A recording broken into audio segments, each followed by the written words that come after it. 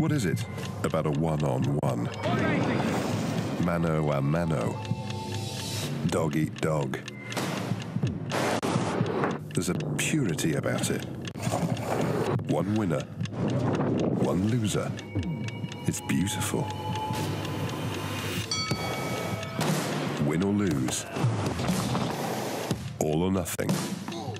Me or you.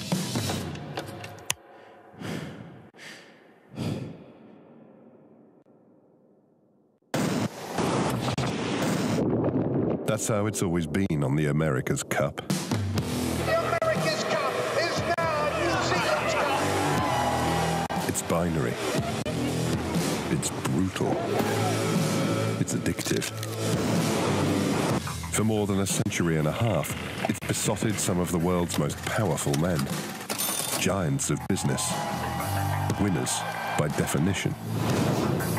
And now, for the 36th time, here we are again. One defender trying to keep hold of the trophy. Three enemies at the gate. One will become their challenger. To earn the right to enter the ring, first they have to win the Prada Cup. There's been a qualifying series for over 50 years. Five weeks of one-on-one racing. Three teams at war. One will prevail. Only the best get a shot at the big time. So who's the favorite? Right now, we don't know. But we're about to find out. The journey to the 36th America's Cup starts now.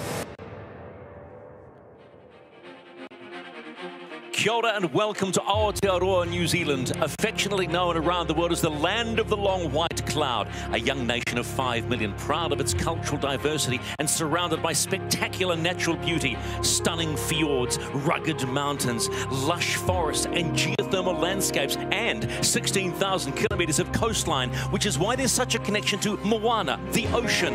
New Zealand is proud to be home to the 36th America's Cup.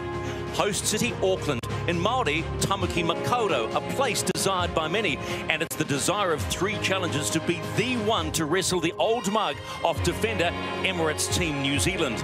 Three years of planning, designing, building, and training are about to be put to the test. These futuristic AC 75s go head to head in combat for the very first time today, and the excitement is real. We begin the Cup journey with the America's Cup World Series. Three days of double round robin match racing. That's 12 races in 72 hours. At the completion, all four teams will be seeded for the Prada America's Cup Christmas race. One versus four, two versus three.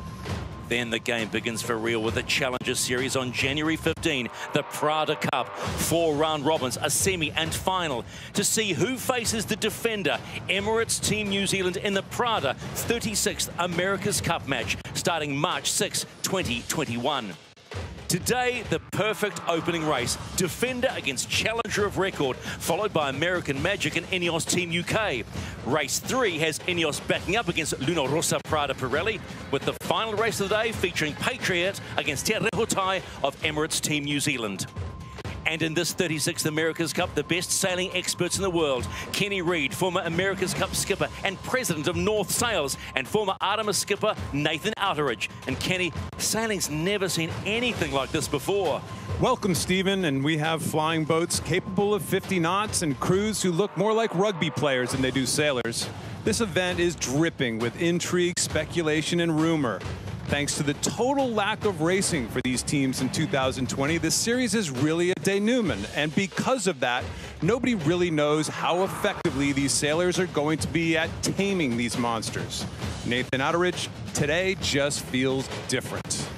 Yeah, that's right, Kenny. It's the moment we've all been waiting for. All four teams have been here in Auckland for several months, testing and training in the beautiful summer weather. I've been following the progression of all the teams since they've arrived, and it's very interesting to see the different design concepts they've each taken. The boats really do have their own unique look. Bring on the action.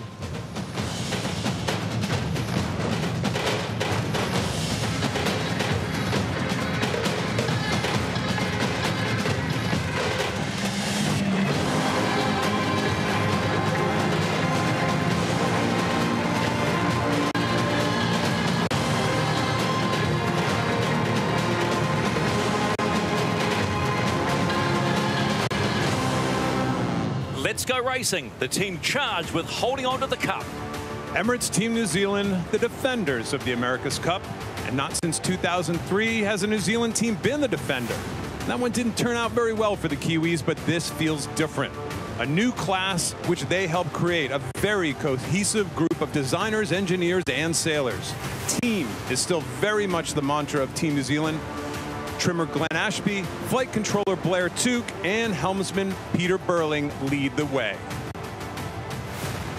Yeah, it's certainly a pretty exciting day. We're uh, really looking forward to getting out there. It's been a long time coming, and uh, you know these four days are really important for us as a team to, you know, in our preparations for the match next year. So, Kiwi fans, well, it doesn't get much better than this. We're on the close course today, uh, southwesterly breeze, sort of mid, maybe even high teens. Uh, so, you know, seeing these boats right up and close in the harbour is going to be unreal.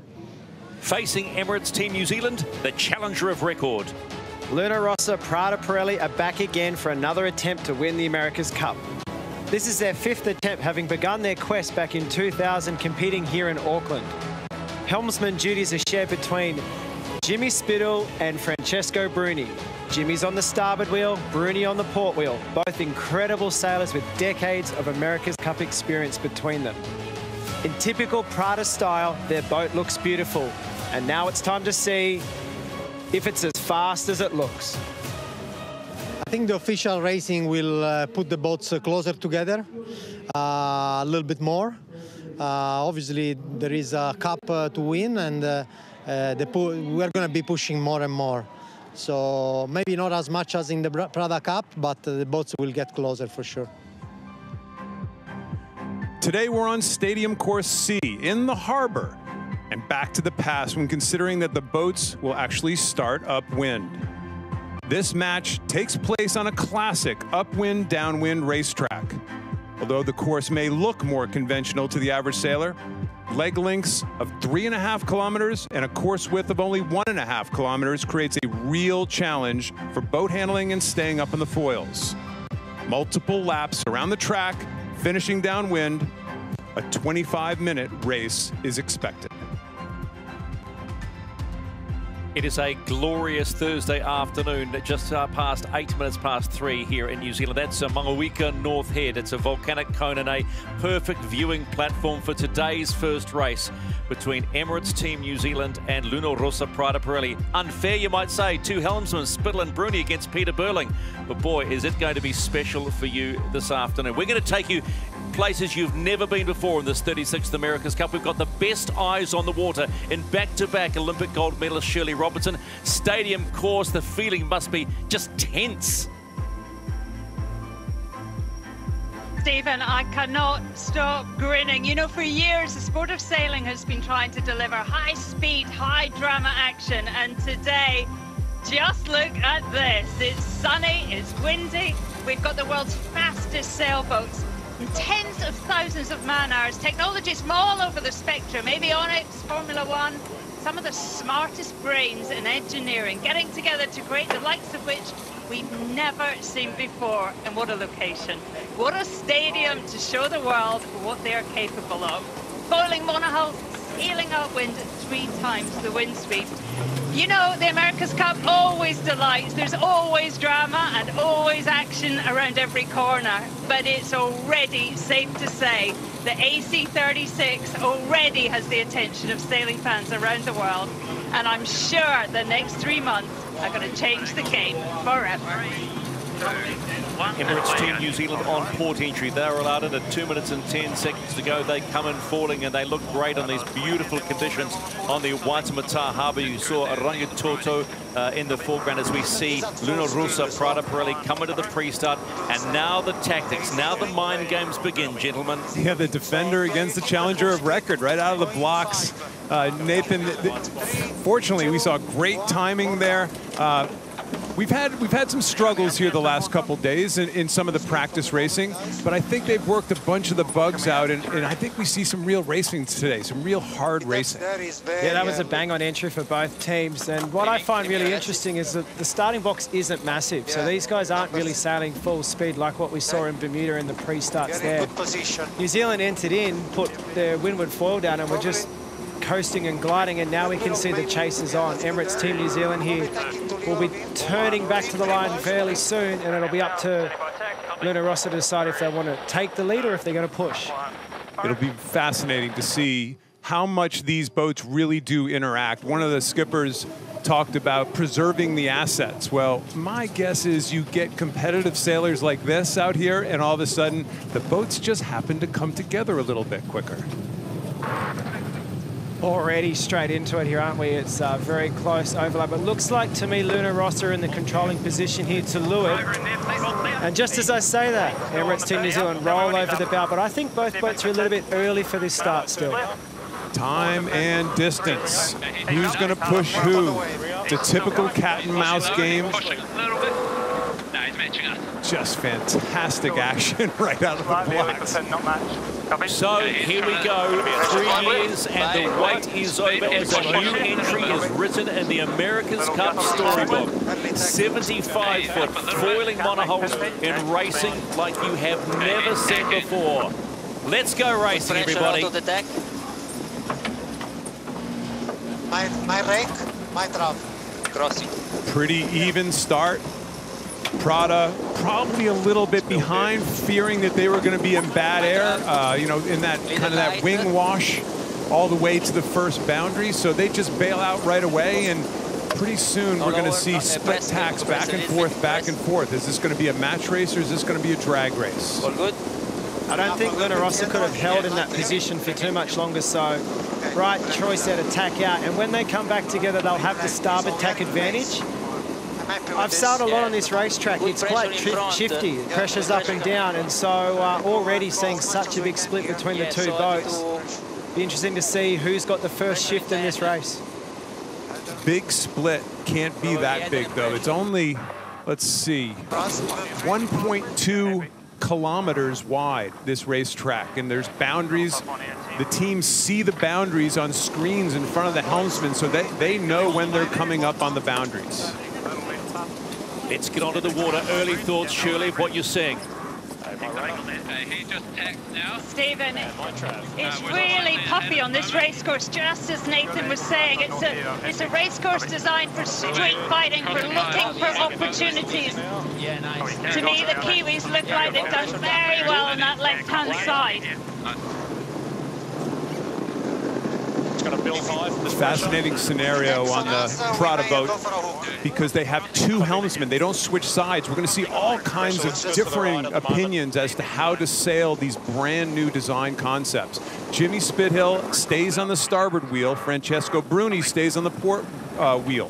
Whereas you'll watch Peter Burling run around the front of the mast every time they tack totally different ways to, to skin this cat, so to speak. A, a pun from the past, maybe.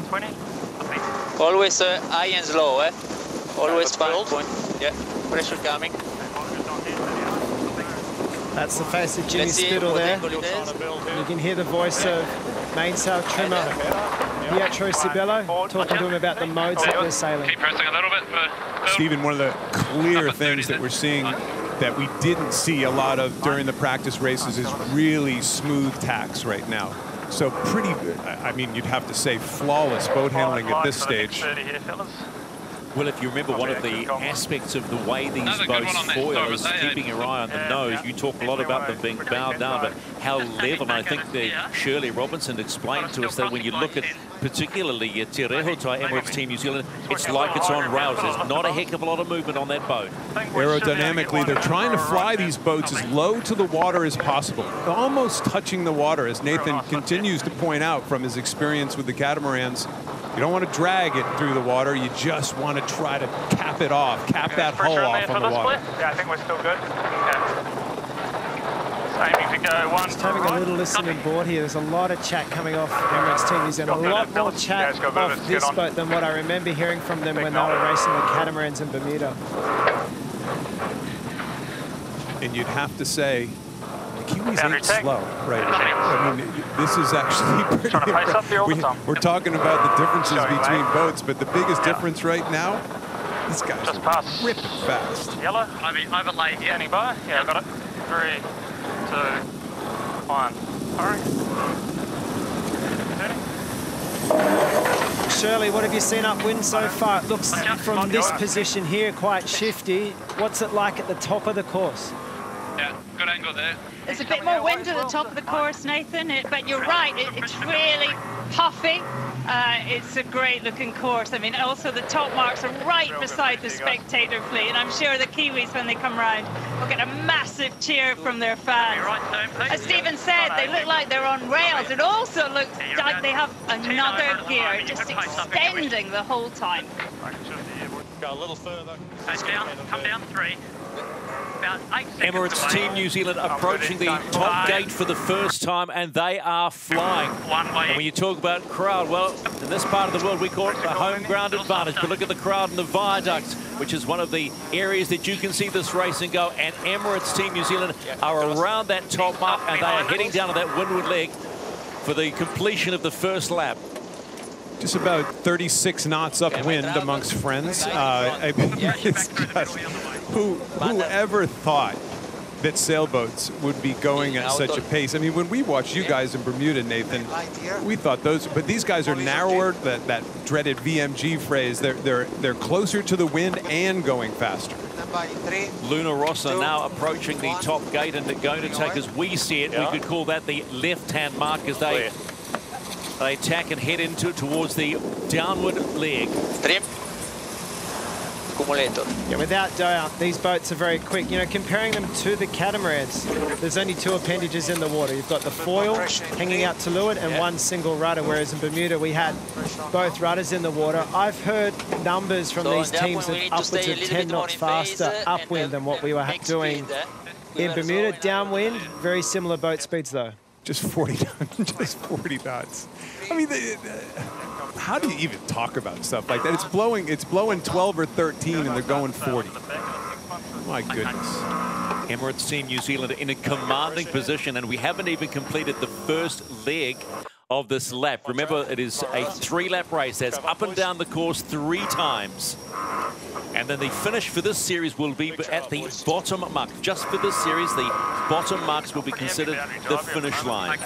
But what a magnificent sight it is from our helicopters. You see the stadium course ringed by, well, fanatical sailing fans here in Auckland. There is no question, though, that this is a very, uh, very lopsided sailboat race going on here right now. Uh, the Kiwis have been rumored for weeks to have come out of the blocks with this brand new boat. Remember, this is the second boat that each of these teams will have put in the water. They've, they've been rumored by the rest of the teams, by the press, by the people following it closely, that uh, they're quick, that the rest of the teams think they're quick and realize we got some catching up to do. But Nathan, I, I don't know if anybody saw them being this quick. This is this is a crushing going on right now. Kenny, just look at that lead. It's like we haven't even done a lap yet, and these guys are already over 700 meters in front. It's a three-lap race. It's, it's just staggering, and you know, I was watching the first upwind, and Shirley, maybe you can verify this, but it didn't look like Team New Zealand were doing anything special in terms of picking great shifts. It just looks like their boat's going very fast. Well, Nathan, I would have said they were on the wrong side. Less wind on that left-hand side, but still, it just seemed to be extending all the time. It's so impressive. What a schooling.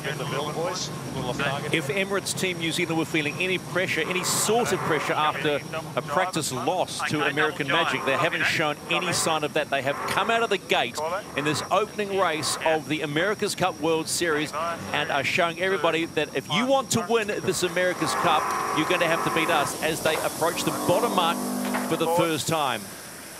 I don't don't miss going through that gate. By the way, it looked like that graphic uh, showed showed the beach pretty quick.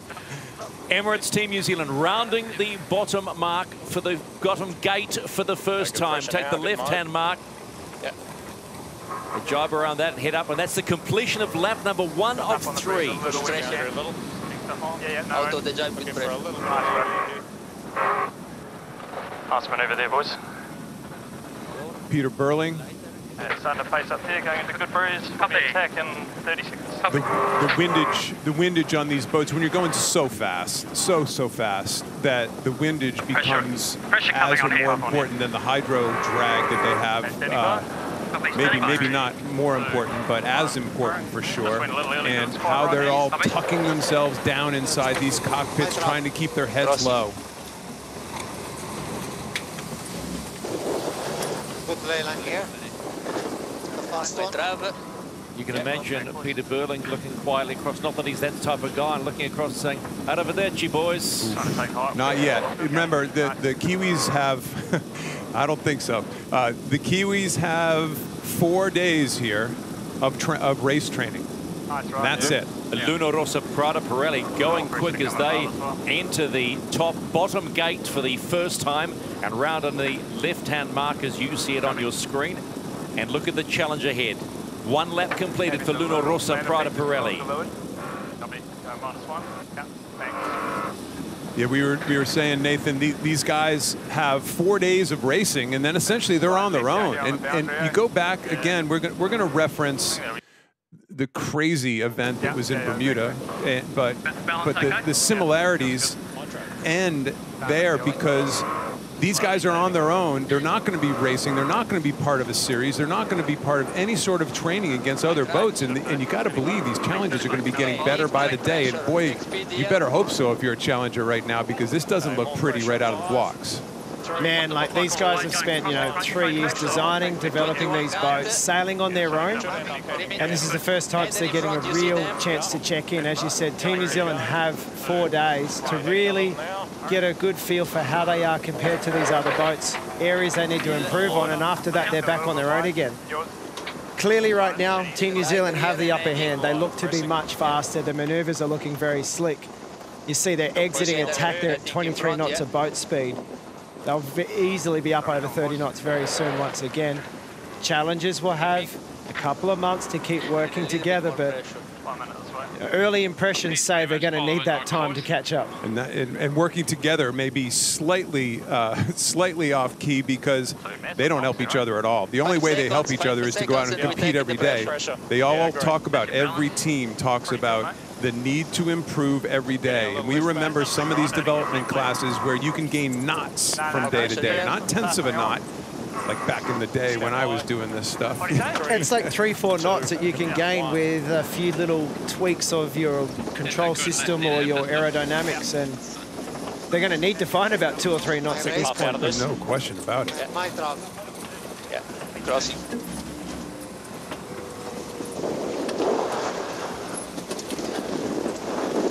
My trap. In 20 feet. Yeah, boundary tack there, copy.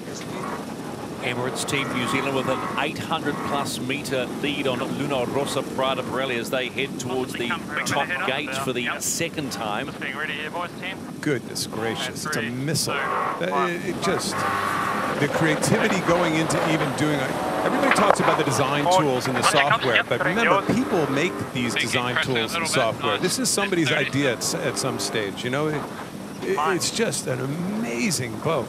We're talking hundreds of thousands of hours of design and then build hours as well to create, as Sir Ben Ainslie, who is the helmsman of Ineos Team UK, weapons. Totally, you know, it's uh, and this rule's pretty open. You know, when we were in Bermuda last time out in the America's Cup, there was a lot of one designer components on the boat. This time out, there's only a couple of those things. You know, the one design component of these boat is that foil arm, that white foil arm that hangs That out right the side of the boat. Exactly. It's um, it's one of the only one design parts. The mast is a one design part, but the hull shape, as you can see, is different on all the boats. It's worth explaining what one design is for those that don't understand the yachting. It mean- Does it simply mean you cannot touch it, you cannot fiddle with it? It, it means written in the rule of these boats, you have to build the boat to this this compliance. So some of these parts, are you buy them from a one design supplier, which means they're identical. Emirates Team New Zealand about to head into the top gate for the second time. That's nice there. Big pressure at the mark. Heading towards the right-hand mark as you see it on your screen. Three. Good evening, man. And then they will head down on what we will call leg four to complete lap number two. In control, Emirates Team New Zealand. So Shirley, calling you in to tell us, you know, they, they, what, everybody modes their boats for different wind strengths. Maybe this is a moding thing. What, what's our wind strength out there right now? What do we have? What do you see on the water? Kenny, I mean, it's pretty up and down here. It's a real kind of urban racetrack, I'd say, between 14 and 18, 19 knots. You know, really, really, really puffy. I'm in the, the catamaran that's bringing you the feed. We're in the filming catamaran. I'm hanging on here. The speed is extraordinary. Uh, and just really trying to look at the Kiwi boat for something obvious, but it's like there's real finesse in every area. They fly the boat just the same distance off the water all the time. They're more aero, perhaps, than the other team. You know, everything just looks really slick and very, very polished already. Stay here. You Stay here. there, Yeah, yeah. Luna Rossa Joe. Prada Yeah. Pirelli. It's one of the best shots Very you'll well. see on television looking back at the bow of that magnificent dot. It is a beautiful boat as they complete the rounding of the top gate for the second time and look down the downwind and go. Bit to do, Jimmy Spithill. Come on, Gilo. Really interesting. The bottom time delta was Nice. 1 minute 14. The top mark Yeah, yeah, time delta was Yeah, 1 minute 15. So on that upwind, pressure, stable they didn't lose anything. So, you know, I, I guess Nice. It's puffy out there. Okay, I have a conspiracy theory. Go for it. You ready? Yeah. They're they're they're backing off Very on Team New. Zealand. They don't want to look too far ahead. What do You, you rec- you reckon they've already begun the sandbagging? I don't know. Take a look at the relative speeds of the boat. On the left-hand side, that's Emirates Team New Zealand doing around 42 and a half knots. On the right-hand side, 44 knots by Luna Rossa Prada Pirelli. I'm sorry, I can't get over it. The difference between the two, you know, it's not like it's not like the Prada boat Luna Rossa is doing anything. Honestly, they look really smooth. They haven't had any crashes into the drink. They haven't splashed down at all. They look polished. They look fast. I mean, obviously, it's a it's a it's an amazing boat, but something is, you know, you got the fins, you got the wings. Here's here's a couple big differences. Well, we'll go back to that in a second. We'll take a look at that split screen on the on the wing feature again when we get a chance. But Speed is not very different, but what we're not really talking about yet is the angles. Maybe maybe these boats go very similar speeds, but maybe New Zealand just are, have the ability to point higher upwind, so therefore they're doing less distance, and maybe they're pointing lower downwind and, and again doing less distance. We'll see it's that a in- balance of the two. yeah, we'll see that in the race recap. That'll be a telling sign if they just go way fewer distance, right? A lot fewer distance. At some stage, I'm going to get to you on the VMG, the velocity made good when you talk about distance and angles, Nathan. But as we see the speed, look at Emirates Team New Zealand doing close to 47 knots as they approach the bottom gate to complete lap number two, and they are simply flying. You're going to hear that for a lot of time during the next two and a half months of this America's Cup. Flying 75-foot monohulls, and that is the defender of the America's Cup, and they are putting on a show. Yeah, one of the big differences you can see from those aft cameras is just the deck layout. You know, we've been talking about it for weeks since they launched the boat, but have a look there. You can see a couple of helmets, but not, but not much. None of those guys are in the wind. You've got Pete and Blair on the left-hand side, Blair at the very front of the boat flying the boat. Over here. And then you've got Peter Burling in the middle with steering from the wheel. Grinders all tucked down out of the breeze, and Glenn Ashby's head sitting on the leeward side as the trimmer, rolling into attack here. Watch these guys run around the front of the oh, boat. That's a difference between this boat as well, just how they position themselves. They run around the front of the mast where all the rest of the boats, when they switch side, they, they run behind the boom in the aft section. Two, one, here we go.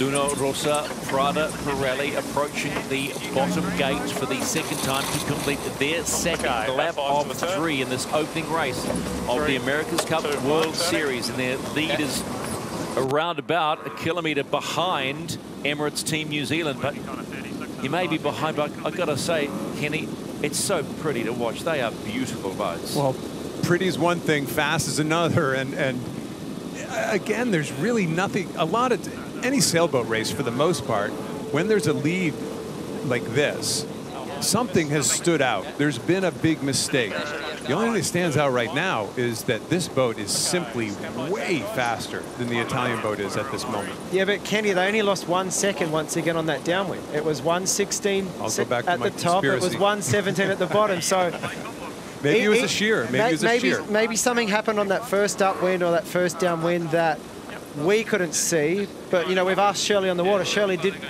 was there something obvious on that first lap that we've missed here in the commentary booth? I don't think so, Nathan. I mean, to me, it looked it looks great on the right hand side.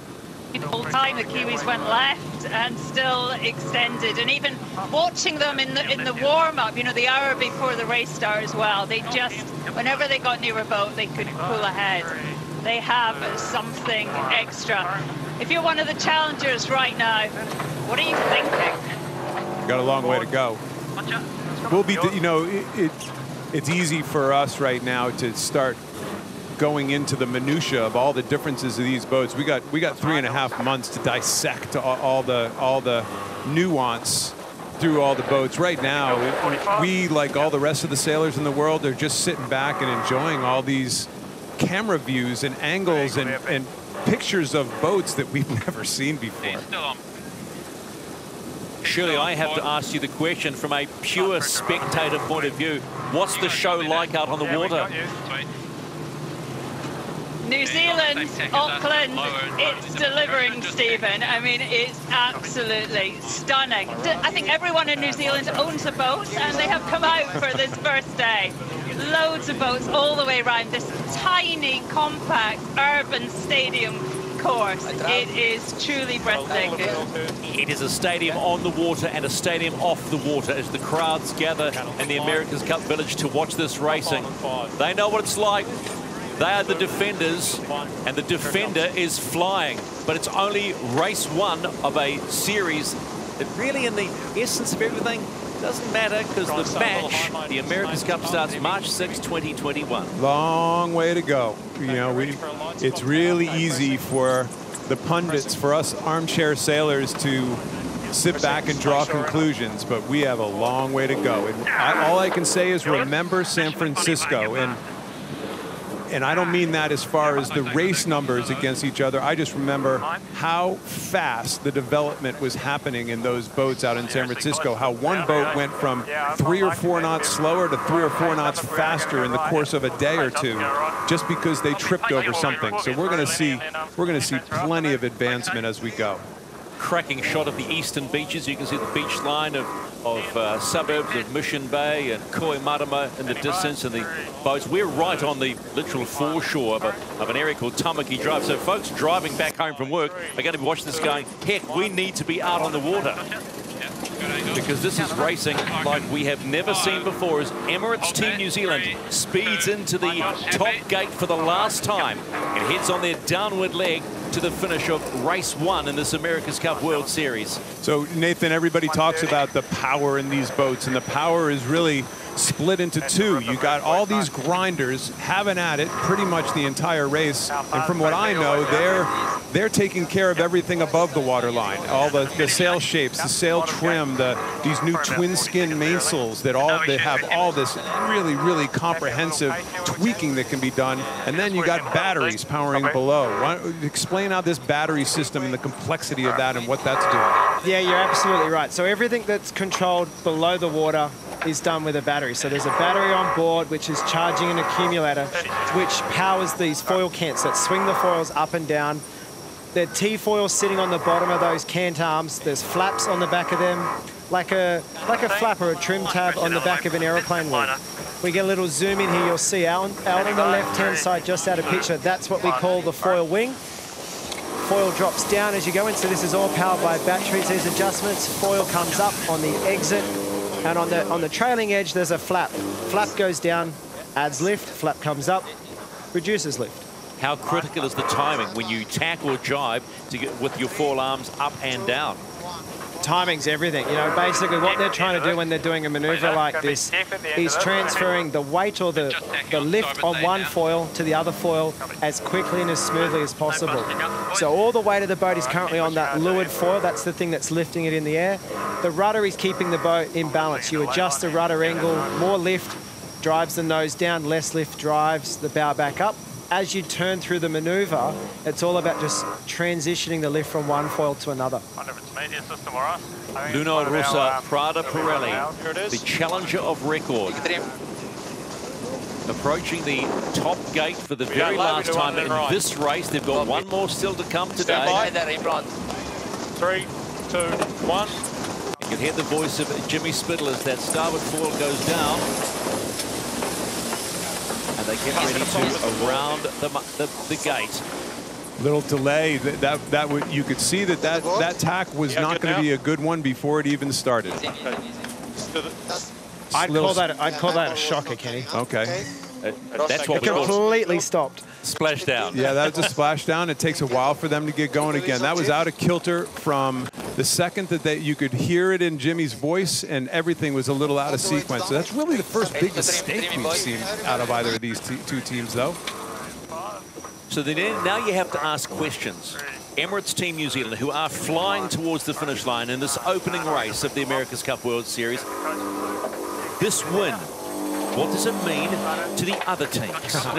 Nothing. If you're the other team, you're just saying, we knew we had a long way to go. We knew these guys were quick out of the box.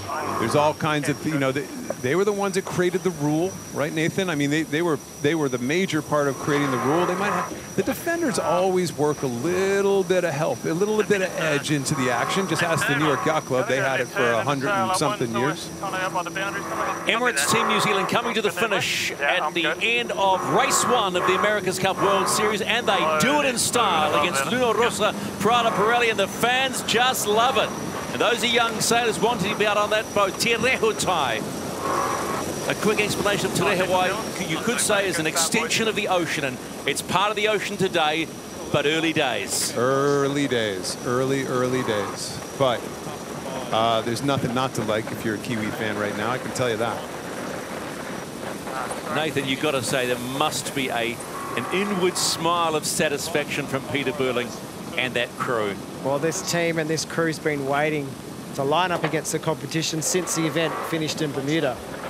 And uh, man, didn't they throw it down? They said, all right, you know, you want to come and take this cup off us? Good luck. We're going to go and beat you by as far as we can. So as much as this result means nothing in the greater scheme of things, surely it can be considered a statement. Oh, there's there's no question about it. Uh, listen, wi winning is winning uh, for all these all these guys. They, they they they are all literally the most competitive sailors in the world. So win's win. But you're not going to see a lot of smiles out of the Kiwis. They, they- they realize how hard a work you know Pressure they're, they're going to have to work over these next months to keep this edge, or even have an edge at all when it comes down to it. So go out, run I'm not trying to throw cold water on this. I'm just trying to say early days, early, early days. We have talked Sort of so much paralleling the, about uh, the, the that this goes comparison to Formula One because it's all about aero, all about updates. And we heard Blair Tuke earlier on in our broadcasting about the need to keep adding, keep adding, keep adding. And you look at a race like this, and, and- and let's put it singularly, gee whiz, what can they add to make it go even faster? Well, Nathan, how you know back in Bermuda, how, how many how many gadgets they still got in the closet that, that they haven't even broken out yet? That's the big thing. You know, all these teams they, they could be using old foils, they could be using old sails, they could be, you know, who knows, right? Nobody knows. Well, my, my inside information tells me that some of these teams aren't even on their final set of foils yet. So a lot of these teams have got new foils coming, and uh, they're far from maximum speed right now. Worth asking how many foils is each team allowed in total before the Prada Cup and the America's Cup if they are to make it there at these challenges? So the total number of foils is six foils. So you see the, the T-wing out on the far side. So you can basically build three for the port side, three for the starboard side. So they're allowed to build six in total. And they don't have to be symmetric. You can, you don't. There's no reason they could be a matched pair either. For all we know, they have unmatched pairs of foils on, on the boat to see to try to get a gauge from one tack or one jibe versus the other. Luna Rossa, Prada Probably Pirelli, the challenger boys. of records. Finally coming to the finish line in the opening race of this Prada America's Cup World Series race number one against the defender in Emirates Team New Zealand. And they will finally cross the line and start talking. It's only race one, but gee, the Kiwis were quick. Rob Petro. Uh, American Magic, Ineos Team UK. This is the race committee. Just letting you know we intend to start on time at 15:50. Over. There are Italian fans at the viaduct in the race committee Auckland commending us Team UK. America's Cup Race Village. Currently got an FCS. They'll be happy. They've seen racing and racing that sailors have never really seen before up close, and this is this is pretty exciting to say the least. Well, real sailboat race. Boats ripping around the racetrack. Tons of people out on the water cheering on the hometown team. Doesn't get much better than this. A 3 minute and 13 second win to Emirates Team New Zealand over Luna Rossa Prada Pirelli. That says plenty. That's a whipping.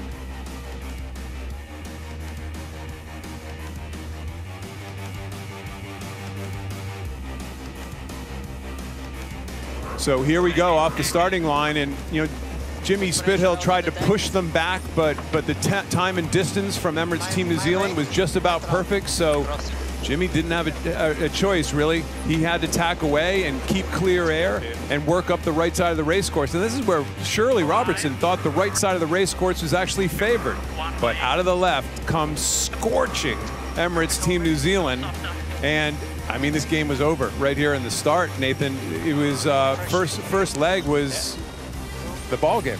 Exactly. Like after their first jibe, they're already over 700 meters in front there. So they've clearly got some wheels. They're clearly going very fast. And, you know, on the second beat here, they, they just sailed smooth. You know, the boat looks fast. You never see them looking back at their competitor. They're just out there going through the motions just right now, trying to show the New Zealand public what this boat can do. Yeah, I, I think this is such a big deal for Emirates Team New Zealand and the Kiwis with all the drama that the world has gone through this past year and, and really expecting a ton of people to come into the to come into these islands and enjoy New Zealand. There's a lot of Kiwis around here that are just looking at this as finally we got a sailboat race. Even the sailors themselves, they finally got a sailboat race. They were supposed to sail multiple events in the in the uh, America's Cup World Series this past year. This is it. This is the only racing. You know, Nathan, this is, talk about rust. A lot of these sailors haven't actually raced a race in a year plus, which is shocking to me.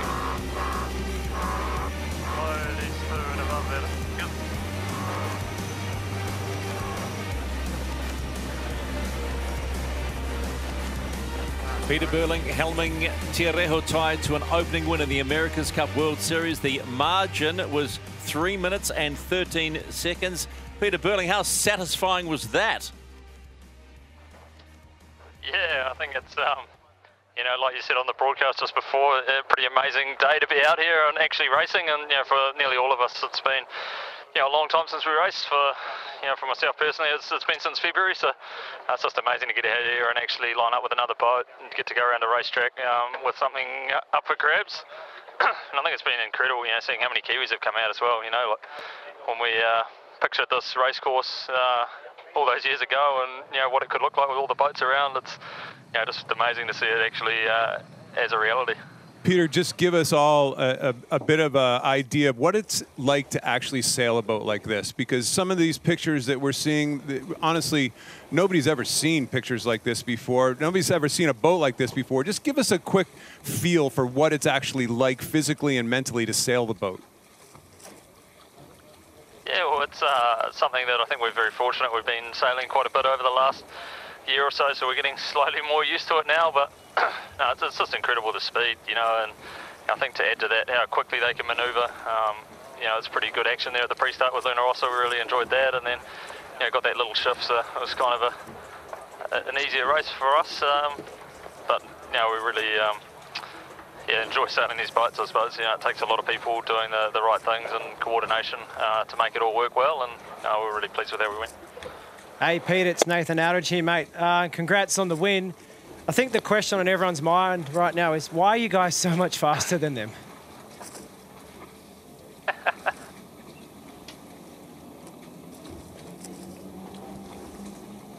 Just... Not exactly the same piece of water, but you know, we got a pretty nice left shift out, um, you know, off the left-hand side of the racetrack, and then a pretty good right one to kind of get out to a pretty healthy margin on that first beat, and then, um, you know, from there, we on our boat, we're just uh, sailing around trying to connect the dots. Thanks for your time, Peter. Appreciate it. Congratulations. See you about it. back out on the water a little later. Thanks, mate. Talk soon. Gotta love it. Thumbs up says a lot. Look, isn't that a beautiful shot? Rangitoto, one of Auckland's most iconic landmarks. It rises 260 metres above the Hauraki Gulf. Believe it or not, that's the youngest volcano of some 50 uh, hanging around in this Auckland region. Time to go on to Luna Rossa, Prada Pirelli, see what uh, Jimmy Spithill makes of that. Hey, Jimmy, uh, three minutes and 13 behind. What do you make of that race? Yeah, look, Team New Zealand did a great job there. Not too many mistakes. Uh, unfortunately, we lost our starting software during the start. Uh, lost all the numbers, but to be quite honest, they were just much sharper uh, turning the corners. So uh, full credit to them. Hey, Jimmy, uh, wind shift, boat speed, combination of both. What, what do you chalk it up to? Yeah, I think once they got clear, they were just able to really sail their own race. Um, but I'd have to say, for the small amount I saw, they, uh, to me, was just getting around the corners much better than we were. Interesting. Uh, Jimmy, Nathan Outteridge here. It looks like it's pretty shifty at the top of that course. We saw you guys trying to get the lay line, miss the lay line a couple of times there. Um, what is the race course really like out there for us watching from home?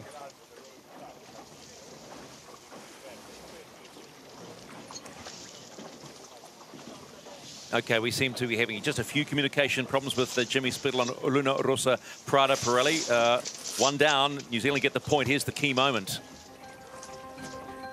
Key moments, easy. First beat. There was really no real key. I, I would love to have chalked this up to something that Luna Rossa just simply did wrong or that Emirates Team New Zealand simply did right. What Emirates Team New Zealand did was design a really fast boat, in my view. Uh, there's it, clearly there's it's shifty out there, but not this shifty. And these guys just showed their heels to Luna Rossa on that first beat.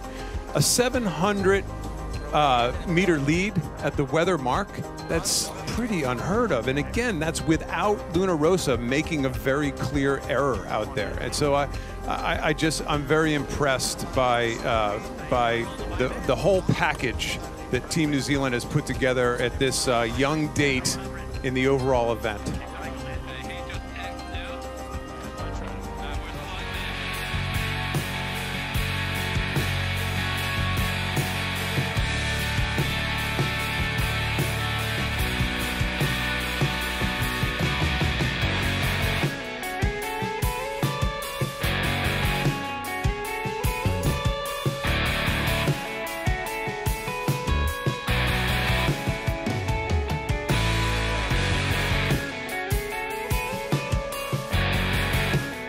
Race one. Now to race two. American Magic are back in the game. Well, New York Yacht Club's American Magic is a collaboration between high-powered private backing and the New York Yacht Club, certainly giving them all the makings of a power squad. Terry Hutchinson's got the reins and immediately tapped his old friend in 2007 Afterguard partner Dean Barker to drive Patriot. Barker has plenty of experience in the pressure seat, driving either a Challenger or a Defender in six of the last seven Cup cycles.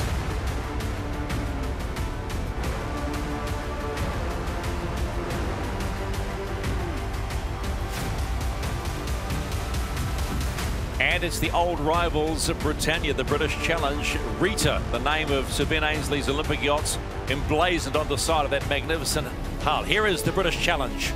Ineos Team UK is a new team led by, led and backed by Ineos founder and chairman Sir Jim Ratcliffe. Sir Ben Ainslie, a previous America's Cup winner and the most successful Olympic sailor of all time, is the principal and skipper and he's back for another attempt to win this elusive trophy. It goes without saying that this team is in good hands. Ben has his focus on something even bigger now. And the start is underway. Ineos Team UK, American Magic, and they are good to go across the line in race two of the America's Cup World Series. Timing a little off between, you know, we're practicing too here in, in television world. Uh, these guys are off. And it looked like a pretty even start. And Patriot kind of sneaks out to a little bit of a weather advantage. Nathan, the edge of this race course comes up really fast. Yeah, you're hitting this boundary within 30, 40 seconds of the gun. And uh, that leeward position's a tricky one to, to be in. You, you're instantly getting pinned against the boundary there. And American Magic, he's setting up for attack right on the boundary.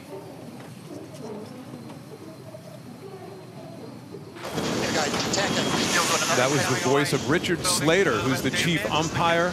So through that starting sequence, there must have been a couple penalties, and maybe at some stage here we can bring in Richard and he can let us know uh, what those penalties were and what they were for. Penalty still on here, Ben? Yeah, I, I can see that. Copy. Say again, umpire. Clear. Clear. Okay, coming on the So confirmation that the penalty received in the pre-start by Britannia has been cleared and it's a clean racing. Surely furious start. Well, until about two minutes to that start, Stephen, Ineos Team UK was not going to take part in the race. They have a problem with their foil control system, but just managed to sort it out enough to, to cross the line and get going. I don't know what kind of shape they're in, if it's fixed and ready to go, but um, they're getting around the course. Feels squirrely going on that one, Will. That board. You're on. Yeah. Two, one, one down. So let's just confirm what that penalty was. Let's go to Chief Umpire Richard Slater. Is in the new part of taking you places you've never been before. Richard, what was the penalty on Ineos? Uh, we actually had two penalties. We had uh, Ineos was outside the boundary uh, when we they was when we were racing, as in two minutes before the start. And the second penalty was you were meant to they're meant to come in from above the line and cross the start line, and they failed to do so. So we ended up with two penalties. Thank you, mate. Australian gold or canary yellow, those T-shirts? Australian gold, my friend. Thank you, bud. We look forward to talking to you throughout this uh, 36th America's Cup. Thanks, bud. No worries. See ya. likely now, more likely two and in. Time here. Yeah, it's getting live, but then rebuilding. Then we keep... Open track. Looks like uh, the Americans here have a very comfortable lead on the first beat and are in control of this race. They're, they're effectively dead upwind of them here, sending the, the dirty air that's coming off the sails or off them, slowing them down and, and, and in full control at this point in time. My wheel. My roll.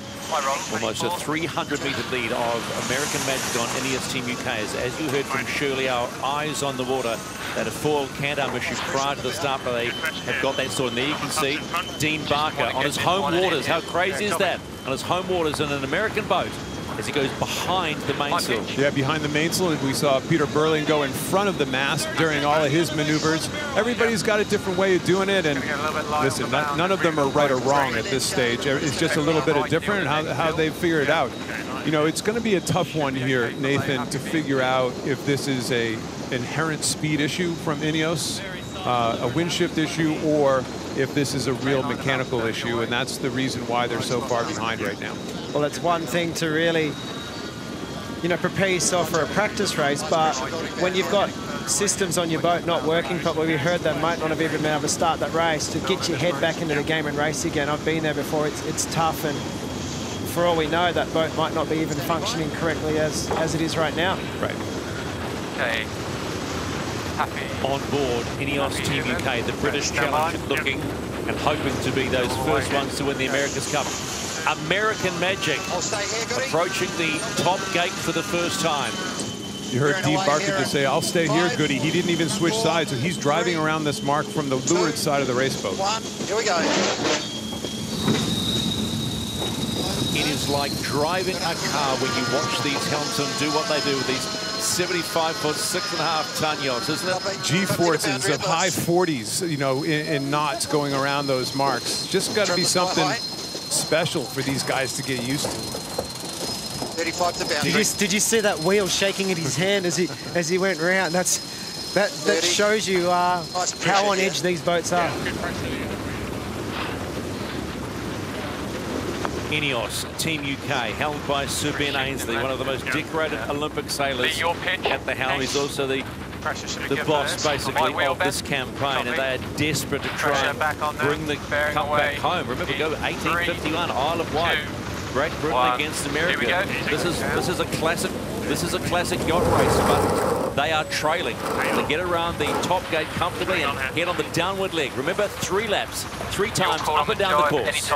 One thing that's very noticeable is they're flying higher and lower, kind of a little bit much more pitchy fore and aft. Their, their ride height just doesn't seem to be what the other boats are at this stage. Nathan. No, it definitely doesn't look as sable. And one thing we've noticed is they often leave that windward foil down longer on the exit of manoeuvres. See, they're a little touchdown, and the, the reason why they're probably leaving that foil down longer is just to keep the stability in the platform. When both boards are in the water, it makes the boat wider. You kind of use it for stability, and when you're comfortable that you've got the power back in the boat, you can lift the foil up again. But Shirley, from on the water, is it still very puffy out there? It looks like the top of that course is extremely tricky. It's a great course, Nathan, isn't it? It's, everything is going on. I mean, this is a real proving ground for any sailor. It's a fantastic course. You have loads of puffs and holes, but, you know, a, a great breeze. And when they get in a puff, the acceleration is unbelievable. Uh, I'm like hanging on on the boat here. We're right beside the Americans now, and actually they look they look pretty good. And I know they're confident in the breeze. You know, they, especially in the lighter conditions, but in the breeze they are they are happy and they're sailing like that right now.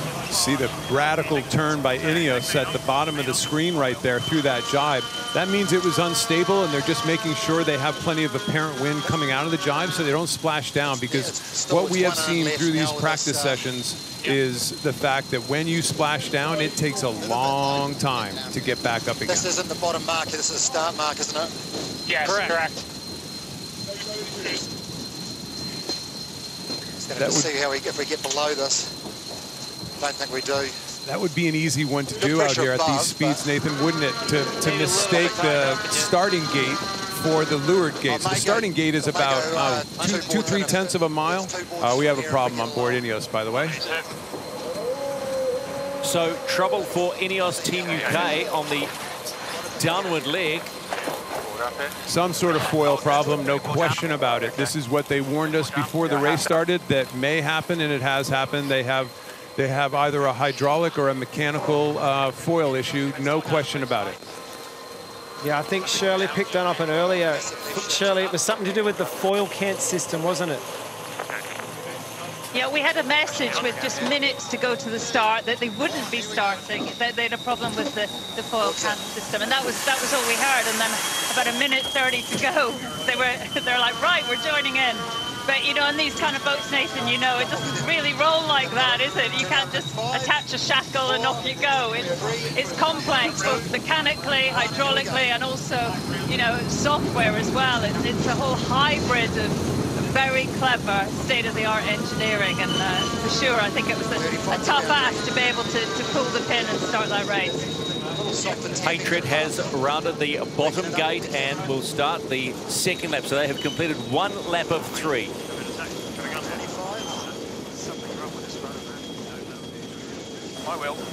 Okay, here's a replay. Oh boy, here's the problem. Something mechanical. completely locked out here. So the rudder just sort of lost grip in the middle of that drive. Hang on, hang on. I will. Rudder losing grip. Ken, I think you saw it in the, the overhead jibe initially. I could see a lot of white water coming off the rudder.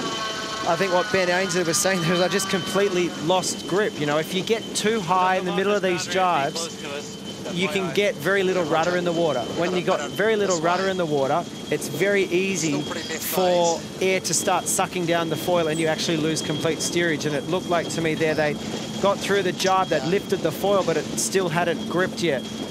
With only one rudder in the water, these boats are really difficult to sail. You know, when we were foiling in Bermuda on the catamarans, at least you had one rudder in the water at all times.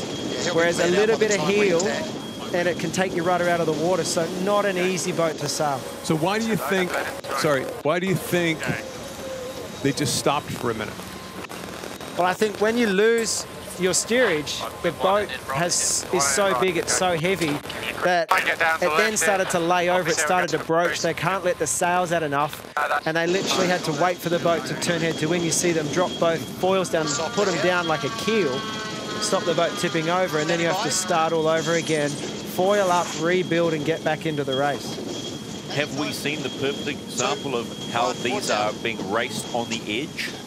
Oh, I think inherently the, the definition of these boats is racing on the edge. There's no question about that. It, uh, yeah, yeah, yeah. And that grip, like Nathan said, at least there were multiple rudders in the water uh, on the catamarans of past America's Cups. Here they got one, and it's a skinny one, boy. It is tiny.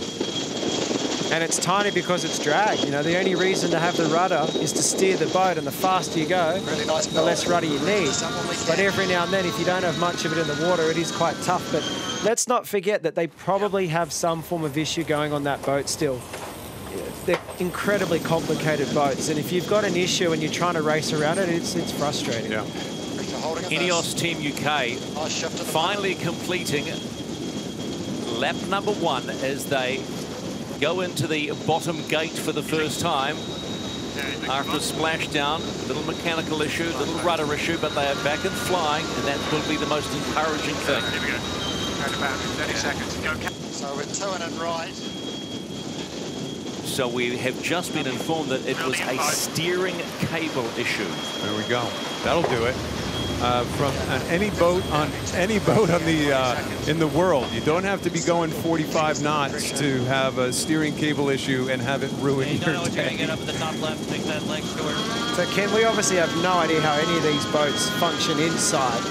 But to have a steering cable issue, in my experience, it must have jumped a sheave or something like Still that to get it back together. So maybe they're able to quickly repair that and get back on with it. But Yeah, if you well- have a steering cable issue, would you keep racing? Would you keep sailing? Uh, it could be a la it could be something as simple as a lashing. You know, the, you you tension the cable typically separately, so it could be something just as simple as that. You never know.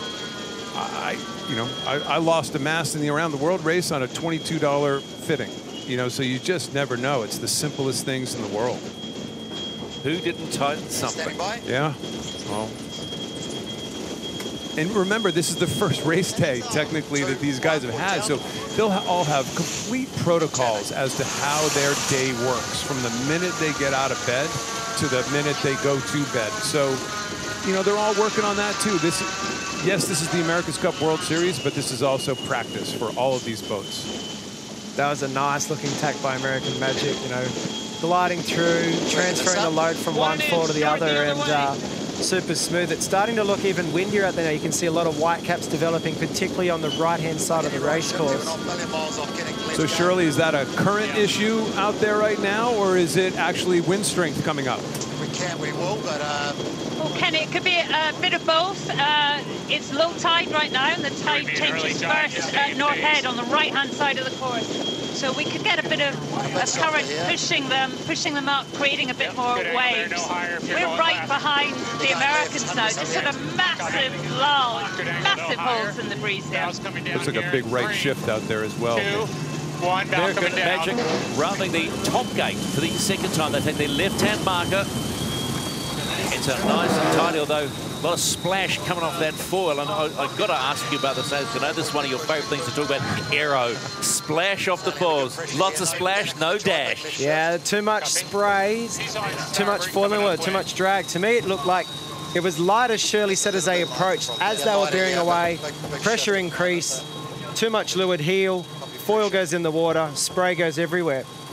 It's not the end of the world, just a little bit more drag, and instead of accelerating out of that bear away, they have a little bit too much heel. So just thinking about everyone out there is always trying to do better, and for sure they'll look back at that bear and say, you know, if we had to just ease the sails a little bit more, but would have accelerated nicely. But A bit like a, a momentary slip off the foot on the accelerator. yeah, at least they didn't fall onto the brake or the clutch when they came off the accelerator. A little bit of holding on for dear life and no harm, no foul. Here we go. Dean Barker standing at the back of the main building, crossing over on the port side of Patriot. I was standing there for a moment saying, ah, just checking things out, we're okay. Well, what he was actually doing was he was checking Ineos, who was sailing upwind. You know, he was holding onto those handles on the end of the boom. Remember, the guys who are driving on the windward side of the boat, in that case it was Paul Goodison driving on the exit of the manoeuvre, he can't see what's happening to leeward. You know, they're, they're all about aerodynamics. They're all about trying to get low. So Dean just wanted to stay there for a bit, let him know that Ineos hadn't tacked, there's not going to be a problem, and then they do the handover. That lighthouse is My wheel. actually in the My race wrong. course right now. I'm guessing that would be a very bad place to go. That's Bean Rock. Uh, okay, the Bean Rock Lighthouse. one of the only remaining examples of a, use- you know, of a cottage-style lighthouse built in 1870. That, thank God you're here. Thank God. Oh, I can tell you one thing, guys. You would not want to be hitting that rock. No. I bet you there's plenty of sailors in Auckland who have accidentally touched that before, but hitting it at 40 knots, not going to end well, is it?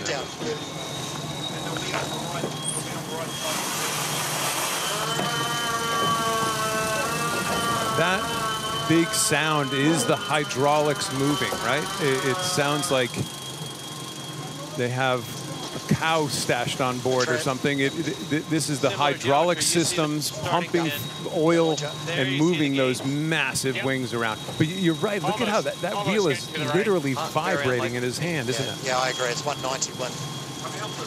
Yeah, it's moving around a lot there. One thing I've noticed, you know, Very- with the, the great at the shots we have on board from the stern can, you can see the, the traveller, the boom, it's connected to the traveller which slides, you know, across the boat. You can see it just moving in small increments.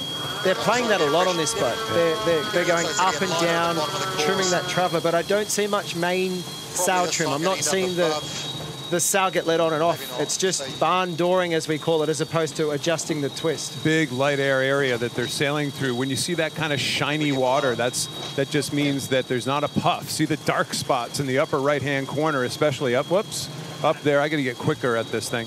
Uh, the dark spots are where you want to be, and sometimes in these narrow race courses, you just absolutely can't get there. You, you can't, because you'd be out of bounds. Setting up the left gate again. Copy. Standing by, Goody. Three, two, one. Go. Ineos Team UK Okay. rounding the top mark Clean on. Stay clean on. and well behind Light 20 American out. Magic. Yeah. Okay, hold the angle. Decency rescue. Now. That's no good. Not having a great day today, though. You can hear the frustration in Ben's voice. My pitch. Yeah. American Magic now rounding the jog. bottom gate for the second time to start the final lap of three. Okay. Three times up and down. Okay, yeah. Six Yours. legs of this race Yeah. course, this stadium course. Eight. It faces back towards Auckland City. Spectators in the viaduct in the America's Cup Village and higher top Maungauika North Head. Just a beautiful day to watch sailboat racing of a different sort, different era, new class, AC 75s. We're going to try to go back, Stephen, and take a look at that, that last mark rounding by Ineos again. It looked like they lost it again, uh, Nathan. It, it looked like they might have had that same problem. And, and I just want to reiterate, we knew that they had a mechanical issue before they started this race. And all of this could be stemmed around that that pro- we don't we don't know and by the way we'll never know because they're not going to tell us You never know what they're going to tell us, Ken, do you? But Not much. Ask Shirley. She has to talk to these guys all the time.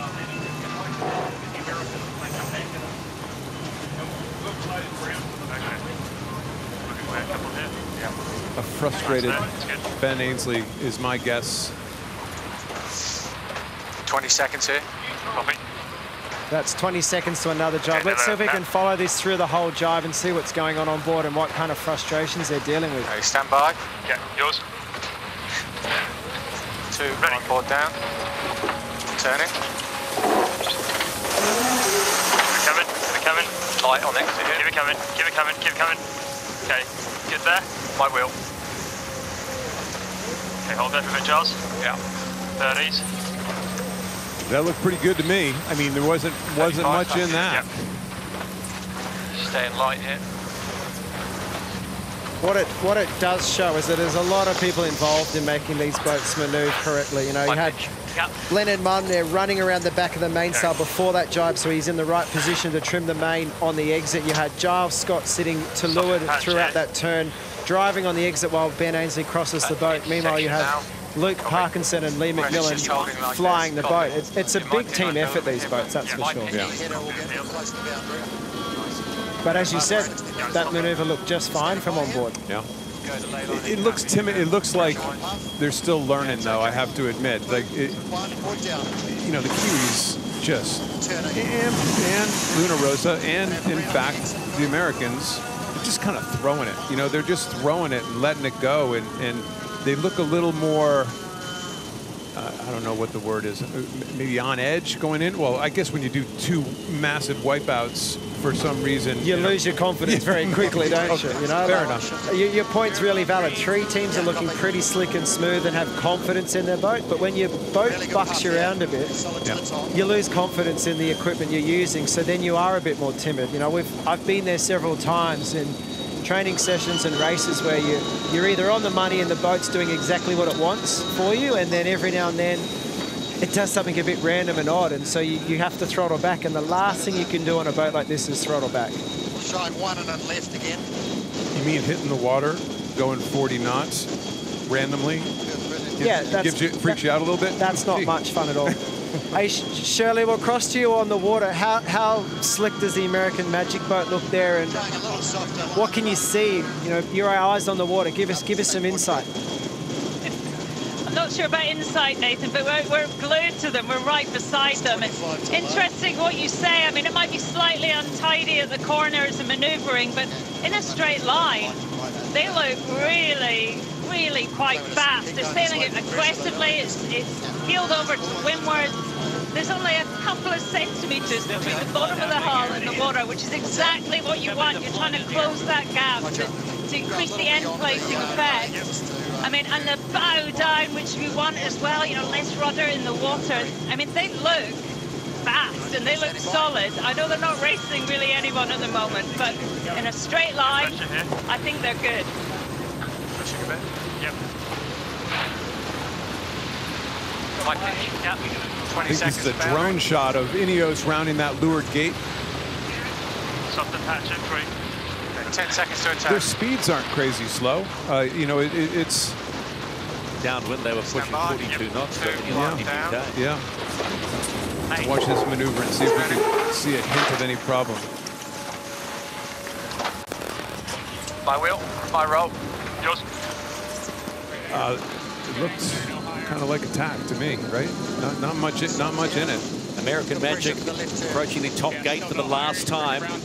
Then they will head downwind to the finish. They are in complete control of the second race of the America's Cup World Series. Patriot doing the job on Britannia at the moment. Goodness gracious, that was that was the G-force, and you could see the puff. They just entered a puff, just smoking around that mark.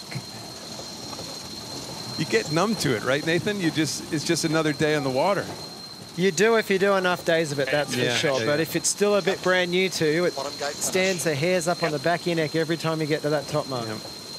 Interesting to note that uh, Shirley Robertson, our eyes on the water, talking about how quick American Magic looks. Remember, as we were fortunate enough to see them race Emirates Team New Zealand in one of the earlier practice races before this America's Cup World Series. They were behind three, four seconds. And, it, and it was one jibe at the bottom mark that uh, sorted them out, and they won by 10 seconds. What does that tell us? Does that give us any indication as to where they're at? Yeah, no question at all that they're fast. You know, we know they're going quick through the water. And from what we've seen in this race, their maneuvers are slick as well. I think what it really is telling us is that you know, later on today, we're going to see these guys come up against another team and we're going to really see where they fit against Luna Rossa and Team New Zealand. But everything that we're seeing right now, they're ripping out there. And uh, it's, it's going to be a real boat race coming up. Well, race four will be American Magic versus Emirates Team New Zealand. The question we have to ask, though, with the, what, what has gone on with Ineos Team UK, they are supposed to back up for race number three. Well, we'll find out. That, that's exact. That's a very good point. We're going to find out how uh, mechanically or physically, uh, you know, what, what kind of shape they're in as soon as we finish. um, just by the fact of whether they come back out on the race course or not. I would love to know why the grinders on Ineos Team UK are sideways and not pointing towards the bow of the boat as they the, the two boats cross. Not just sideways, but Nathan, it looked like they were in the gym. They had they had like the, the local Sky Sports on their little screen in front of them, and they were just kind of sitting there working away in the gym. I bet you they're not watching any other sporting competition right now. They'll be looking at numbers, hydraulic pressures. You know, the other thing you can see is that you know those guys have individual grinding pedestals, whereas all the other teams who face forward and aft, they're sharing. You know, so you have a teammate, you're working with your grinding side by side, but you've only got four sets of handles on board. So you might be putting double the amount of power through that shaft to power that hydraulic function whereas Ineos Team UK could be separating the way that they you know power the systems. There's a lot of complicated systems on board these boats, and the grinders are the ones driving the whole thing. Feel like we may struggle to make it a. You know, So, like Shirley Robertson currents on the water, what do you make of this so far, particularly the pace of American Magic? Well, Stephen, it's hard to keep up in the camera boat. They're definitely quick. Um, I mean, just to add to that grinding conversation, I know for the British, they wanted to free up Giles Scott, the tactician, so he didn't have to grind. So a massive emphasis on making that really, really efficient. I think that that was, you know, definitely the thinking behind that. We're right beside the Americans, and as I said before, in a straight line, they, they look hot. You know? uh, they got a way to go turning the corners, but uh, they're sailing well in the breeze, definitely. To use your words, uh, Shirley, today American Magic have won the street fight against Ineos Team UK in a classic battle of the original contenders for the America's Cup. American Magic crossing the line in race two of the America's Cup World Series, and it's a strong performance from Patriot.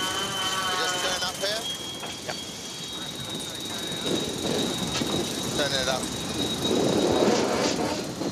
Very, very strong performance. Again, kind of like we saw in the first race, reasonably flawless. It wasn't, I mean, I'm sure these guys are going to get into the room tonight and their coaching staff and all their numbers and they're going to pick up this thing apart and for all we know, they're going to think we sailed terribly. But from the outside looking in, these guys look like a pretty slick effort right now. Doesn't he have to find me two curries win as it was? And just like that, it settles down. we need to uh, try It to settles and Ah, nestles and they start the- breathing again. Exactly. exactly. We I- lived. We made it.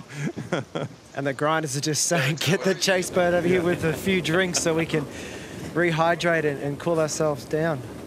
I remember those days. It was a fantastic feeling when you cross the finishing line, particularly after a, a nice win like this where you can breathe a sigh of relief. We've got a monkey off the back. We've got the first win on the board and uh, you shift focus now to what you need to do in the up and coming race. Did I hear you say you were a grinder? I was never a grinder. No, you don't have the physical prowess to be a grinder. I used one Wow. once in the gym. I tried once in the gym to grind. I think he just insulted you. I, I'm just going to say. No, no, no, not at all. Not insulting my fellow commentator at all. We were able to do 10 press-ups before the start of the day. You, you guys Good took it on. Took it on. 10, 10 push-ups. Nice Well, I did 20. I hadn't told them I'd done 10 before. As we look at Ineos Team UK, who are still making their way around this course, they are well behind American Magic, who have completed the second uh-huh. race. Real funky here. But there would be, look, you know, despite what's going on here, Kenny, you've got to say this is still encouraging signs. They have bounced back, regardless of the, the distance. You know, as we say in the old adage of the America's Cup, there is no second, but they are still sailing. And this this is certainly, you can take positives out of this, bouncing back. We have, n- you're right, and we have no idea where they are on their learning curve, on their path curve. For all we know, again, that they have big breakthroughs sitting in the closet that, that haven't come out yet, or still being constructed. Um, we're just not going to know for a while. This is a great first step, especially for Patriot. Uh, but you know these guys these guys have have had their issues no question well documented in the practice racing. And uh, you know let's take little victories got around the race course. let's figure out why we had a couple bad jives um, and this mecha- mechanical problem for all we know it's a real you know it's a big one and they're and they're actually doing a miraculous job to get around the race course stand by. Yours. Yeah, it's one thing interesting I heard Shirley saying earlier, you know, how Giles is a tactician. They wanted to free him up to be able to give more input. But I'm a, I'm a little unsure about that because he's he's on the leeward hull the whole time. As a tactician, it's really difficult. On the leeward side of the boat, it's really hard to be calling the breeze and, and assisting. Obviously, you need someone to leeward with eyes out of the boat, boat helping there. But the one thing that I've haven't heard much coming off this boat, and I know we're talking over them constantly, is you know who's calling the wind, who's really helping Ben drive this boat accurately, and I might just close my mouth briefly here and listen come into the finishing line. One and into the finish. Okay, gusting two and then slightly soft patch. It's technically a really quiet boat, especially when you're laying out trying to listen to them. That's when they get the quietest, Nathan. You're gonna you're gonna find that us uh, us, us veterans in the booth will, will let you know. That's that's when they go quiet is when you're trying to listen. And then when you want to say something, they start talking. Of course. Yeah. It's because we can hear you while we're racing too. exactly.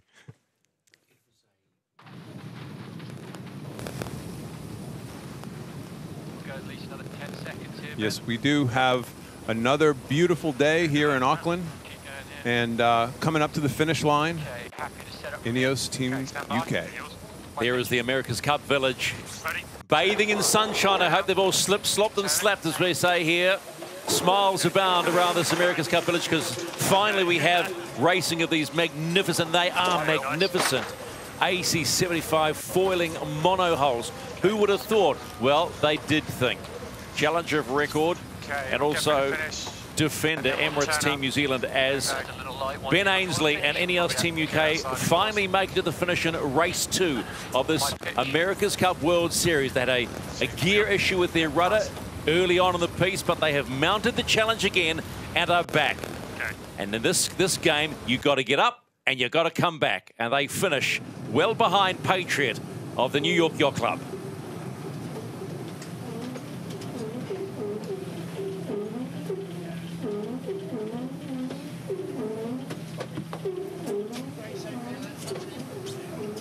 Confirmation then of race number two on this Thursday, the 17th of December.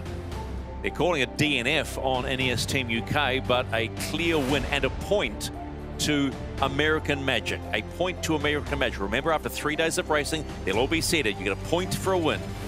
And that's the key here.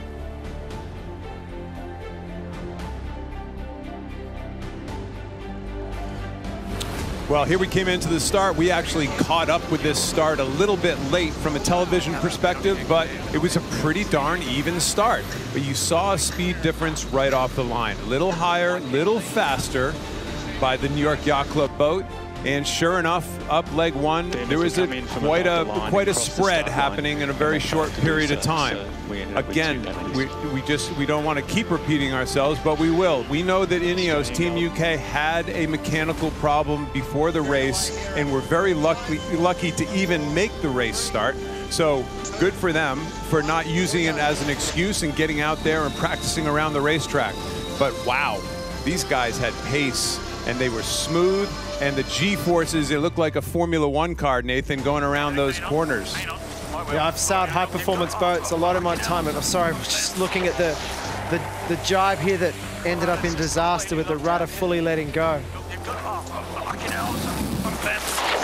It's, it's, it's never fun getting a full washdown like that, and uh, then trying to keep the boat upright. They're, you know? they're, trying to stop it going over. The thing is, is these boats have stability and balance at speed, but as soon as you slow down, the foils have some weight in them to stop them tipping over, but they're incredibly hard to get upright and to build speed from this. You see the foil now arm lifts up, and it's a long build from there. Coming into the finish line, it was American Magic with an easy win. Um, listen, they're going to be really happy with this, but these are these are veterans, these are pros. These guys have been doing this for a long time, and they'll be back to the drawing board tonight and trying to improve off of what we considered was actually a great performance. And just reconfirming that result, American Magic gets the number, and it's a flat five-minute win over Ineos Team UK. Five minutes over Ineos Team UK. The battle is well and truly on. And if you look for a warhorse in this campaign, It's Emirates Team New Zealand. This is their 10th consecutive campaign. They've been in the game for 35 years. The lessons have been hard earned and hard learned. New Zealand first got involved in the mid 80s, really, with Sir Michael Fay. It was a whole new thing, really. We all knew about the America's Cup from watching Australia 2 on TV, and that was a, an obvious progression of, of something that we all wanted to do. So we all leapt on board as soon as there was an opportunity to. KZ7 ended up having a fantastic run and nearly pulled off the impossible and sparked people's imagination back here and, and started the 35 year plus involvement in the America's Cup. 12 years ago, the call went out to stay Stand Up Australia. Now in 1995, it's Stand Up New Zealand. International sport's oldest prize leaves the United States, this time to a different down under, New Zealand! Coming into 2000, Team New Zealand at that point really picked up on what they knew as a winning combination or a winning formula in 95 and expanded on that. Absolutely magnificent. Dean Barker, it doesn't get any better than this. Got stronger again in design, got stronger again with the sailing team, and it was a slick act. It was just hard to beat. Team New Zealand complete the first successful defence of the America's Cup outside America. You know, after 2000, there was obviously a big loss of key people from Team New Zealand at that time who went off to, you know, form the Alinghi team and they went to Oracle, they went everywhere. So it was basically what was left was a very young team. The main boom, that new innovation that was seen there, has broken. And all of a sudden we had a boat out there that was filling up with water, mast falling down. You know, it was a step too far. Just disaster for Team New Zealand. We'll never outmuscle some of those big teams. You know, we've got to be smart. We've got to try and outthink them, and we've, we've got to come up with you know, innovative ideas. The first race of the America's Cup goes to Emirates Team New Zealand. If you look back now, we were probably too conservative in the approach that we took, and that boat was tapped out pretty early. The question is, imagine if these guys lost from here. What an upset that would be. And obviously we were trying everything we could to squeeze more out of that boat, but we, but we couldn't. The comeback of 2013 is complete. We definitely had more appetite for risk in the Bermuda Cup. We thought, right, you know, we're, we're behind. We're not going to go there and tread the same path as they are and outmuscle them. We anticipated these guys to be good. I don't think anybody anticipated them, the Kiwis to be this good. And I think that's something that we've, we've got to after all these challenges and after all these cups that we've gone through, that it sort of all seemed to come together for that three months in Bermuda. The New Zealanders paddling into the history books. All that heartache and pain of San Francisco replaced by jubilation here in Bermuda. We're not trying to defend it, we're actually going out to try and win the cup. And all we're going to do is worry about, you know, the 6th of March and the 10 days after that and then, then take it from there.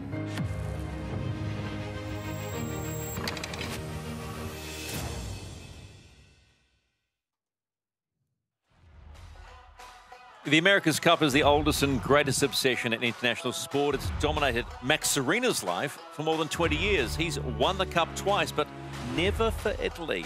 It's an historical fact that he is determined to change.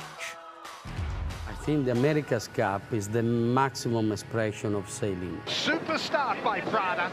Magnificent. Right on the back with the Pennine. Brilliant time on distance by the Italians.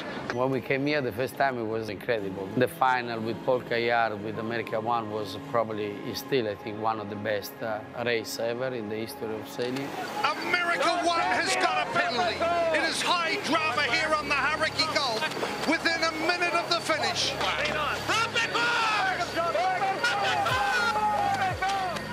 It was a really good fight between two teams. Here goes the jibe from America One carrying a penalty. The only way they can get out of this is get a penalty on Prada.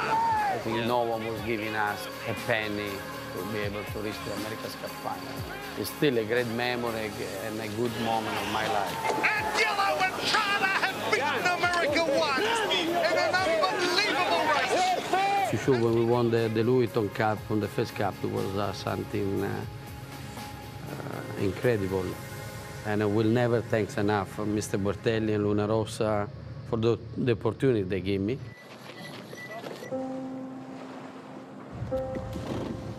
From that cup, we changed a little bit philosophy in the team. We build, uh, in theory, on paper, a stronger team than the first cup. But at the end, to win the America's Cup, you need a fast boat. You need a good crew, a good team. But at the end, uh, it's like a Formula One racing car. If your car is not fast enough, you can be the best driver, but you're gonna finish second or third. It's the Dutchy Prada. And then we went to Valencia. We reached the Louis Vuitton final against Team New Zealand. I think we had a pretty good boat, but uh, it was probably a good boat for uh, a solid breeze, like over 15 knots. And unfortunately, we raced against New Zealand in a light condition, apart one day where we actually fight and we, we almost win the race there. You cannot be perfect. You cannot even think to be perfect. You need to just be a little bit better than your opponent. Otherwise, uh, you, you're going to make more mistakes. The reality, I think we start a little bit too late, and for that reason, we decided, well, let's use the cup in San Francisco to build a core group for the next one, no? But we did well. We, we, went to the final, and for the first time, actually, we took a point uh, in the history of Luna Rossa against New Zealand. I mean, we're gonna be stronger next time. Peter Blake was always saying, if you don't try, if you never try, you will never win. So, and it makes sense. And uh, now we're here. We know New Zealand pretty well. We've been here so many years in the past. It's going to be almost impossible to beat them because they're going to be faster, stronger, and we're here for that. And then if it goes uh, well, uh, it means we did better than them. But it's going to be tough. Auckland City, where summer is calling in 2020 2021. And for 132 years, you know, the New York Yacht Club held on to the America's Cup. It was the longest winning record in sporting history. Now, after a 16 year break, the New York Yacht Club is back in the game and determined to bring the old mug home. 132 years of history as a defender. And here we are, back in it.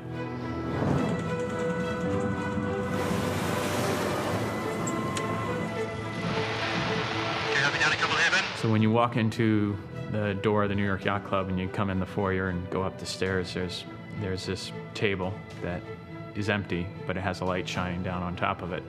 And and that's reserved for one trophy. The gentleman that, that manages the front desk there, you know, he said, you gotta win this thing because I can't retire until you do. Having the opportunity to represent the history of the club and and everything that the America's Cup has been for the New York Yacht Club, having the opportunity to represent that is um, it's pretty special. You know, I'm sure that in the years following 1983, it was hard because it left a big void. When I look at it from the professional sailor perspective, I think when they lost in 83, you know, Dennis elevated the game by, you know, training all year and two boat programs and, you know, really an attention to detail that had never been seen before. And he dug a little bit deeper and, and he and Tom Whidden and the team that they assembled with Stars and Stripes went on to uh, probably the single best uh, sailing event because he lost and Dennis came back and won. I mean, to me, that is the absolute greatest comeback in America's Cup history. The America's Cup is America's again. It's the fourth successive victory in five days, ending the shortest America's Cup in 100 years. Yeah, I, I look at it and think that's just all paved the way to where we're sitting here today.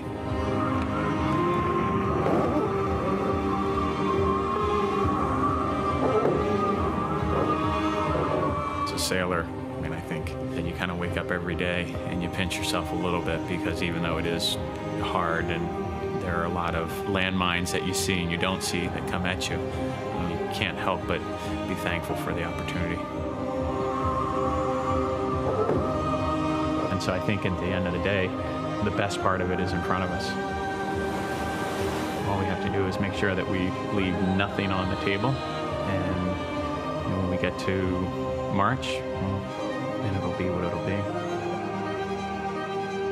If it was our first rodeo, you'd be a little bit more nervous, but it's not. And and so you you know you trust in the the guys that you're standing next to and the, and the voices that you hear in the, in the earpiece to get it more right than wrong. So as long as we win, I'm going to sleep pretty darn well at night. Auckland City from the Hauraki Gulf. What a beautiful sight on a summer's afternoon. But 170 years ago, the oldest trophy in world sport was won for the very first time. It was a radical yacht called America, and it beat the British on home waters and took the trophy back to the US. Now, Sir Ben Ainslie, who's up next, wants it back.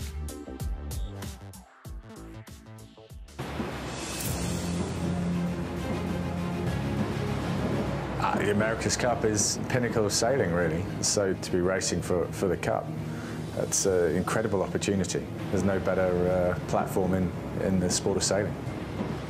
Well, we're obviously a very proud maritime heritage, and we've won just about everything else in sport, but the America's Cup is the one thing that we've never won. That's something that kind of hurts, really, and it's 170 odd years of of hurt. So that's our motivation to try and, try and put that right. We came out of Bermuda, we didn't achieve the goal, but we learnt a lot, we developed a lot, and we came out of that with the ambition to learn from that campaign and come out stronger for this AC36. Out of all the Americas Cups I've done, my fourth one, that one, I learnt the most by a mile. We had some moments in the build-up to Bermuda that were really bad. We had rudders blowing off the back of the boat. We had all kinds of stuff going on within our foils, and we just kept going. We knew the whole world was looking at us, but we stayed really, really solid. Wherever we could, we, we, we kind of laughed it off, but it was hard. Skipper, just to inform you, we're retiring from this race. Over. I mean, in today's day and age, when you, it's real good that blokes like me, middle-aged blokes like me, can talk about their mental health. There was a few of us that would have to go to the pub and have a few pints and talk really honestly. And when I started my cup career 20 years ago, you'd have been laughed at for having those conversations, but that openness has set this open culture that, that we have now. Yeah, we had some big changes to the team from Bermuda. Lots of learnings from that campaign, and we did need to make some some pretty significant changes to take ourselves up to that next level of pushing for the win. Biggest change, obviously, would be Ineos and Jim Ratcliffe coming on board.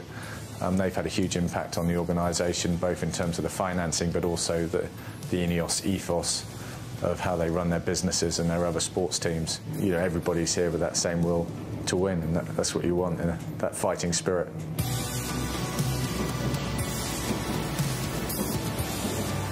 I'm delighted with how the, how the squad have come together.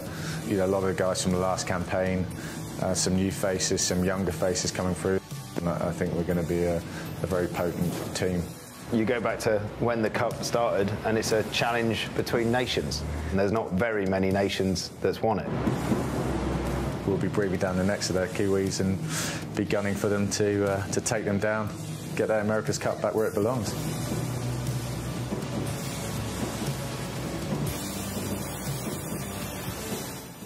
North Head. It's a beautiful place, Maungauika North Head. As we look across to Devonport and get ready for race number three. Two sides, two teams that haven't scored a point yet. Ineos Team UK and Luna Rossa Prada Pirelli. Race number three of this first America's Cup World Series. Three minutes and 20 seconds before they get to race start. Remember the port boat, which is Ineos Team UK today, will be coming in from the port entry and is allowed two minutes and 10 seconds. And let's go to Shirley Robertson, our eyes on the water. I'd love to know your thoughts of the first two races, what you want to see in this third race, Shirley. I want to see a good race, Stephen, without without any issues. Ineos, in the gap between the race, must have had 20 technicians on the boat with, with toolboxes and computers uh, but now they're lining up for this start and are flying around. So hopefully we get a good match.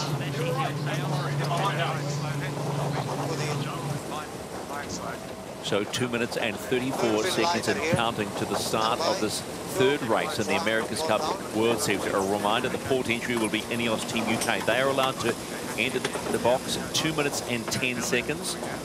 Just a reminder, we, we saw a little bit of this in that you weren't fortunate enough to see some of the practice racings. If you were inside a minute, You'll get a penalty. So you've got to get inside that starting box before the 60 second mark. So here she comes in, well inside the 2 minute 10 second time limit. And Ineos Team UK into the box, getting ready for the pre-start. I love the pre-start. Yeah, the pre-start's great, and they, you know, they're allowed that 10 second gap between the port boat and the starboard boat to avoid the good old dial-ups from the old days. But the dial-ups that I used to do happened with two boats going 12 knots, not two boats going 45 knots. Luna Rossa Prada really flies into the the pre-start to start this what has always been called the cat and mouse game. But sometimes, Nathan Outteridge, I wonder whether the mouse is in charge. Yeah, it's all about power control in these starts and, and manipulating the boat around you whilst keeping your boat on the foils and managing your own time on distance. The port tack entry boat here, Ineos Team UK, they're the ones that have to really decide the time to turn back. They've got computer software on board helping them with this, and really the starboard entry boat has to react. You know, we we see here Ben Ainslie rolling into attack now, and the real question is, what is Luna Rossa going to do? Are they going to go past and push, or are they going to try and tack underneath and hold him out? And there they go, straight into it. Leeward tacking to leeward. Ineos straight off the foils. I expect a full park up here. Jimmy Spithill's very aggressive in the starts and just shuts the race down. There's going to be a, there's definitely a flag here, though. UK would, would be thinking that these guys tack too close. This is going to be fascinating to see. I'm guessing if I were a betting man right now, I'd be betting against Prada because I think they tacked really close. Protest said no penalty Italy. Wow, amazing.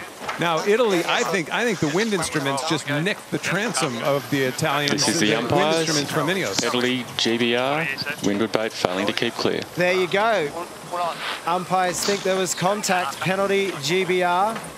Both boats late for the start. What a turn of events. You know, that was really aggressive by Spithill coming in there, although we, it wasn't Spithill. That was Francesco Bruni on the port side wheel. He would have been a, the one that was making the tack. And now this is just, this is the same game that we've seen uh, guys over the last couple of days clear, trying to get the boat out of the water once you splash. Strong arm tactics by Jimmy Spithill and Francesco Bruni, the twin helmsmen on Luna Rossa, to start out race three, and they are away.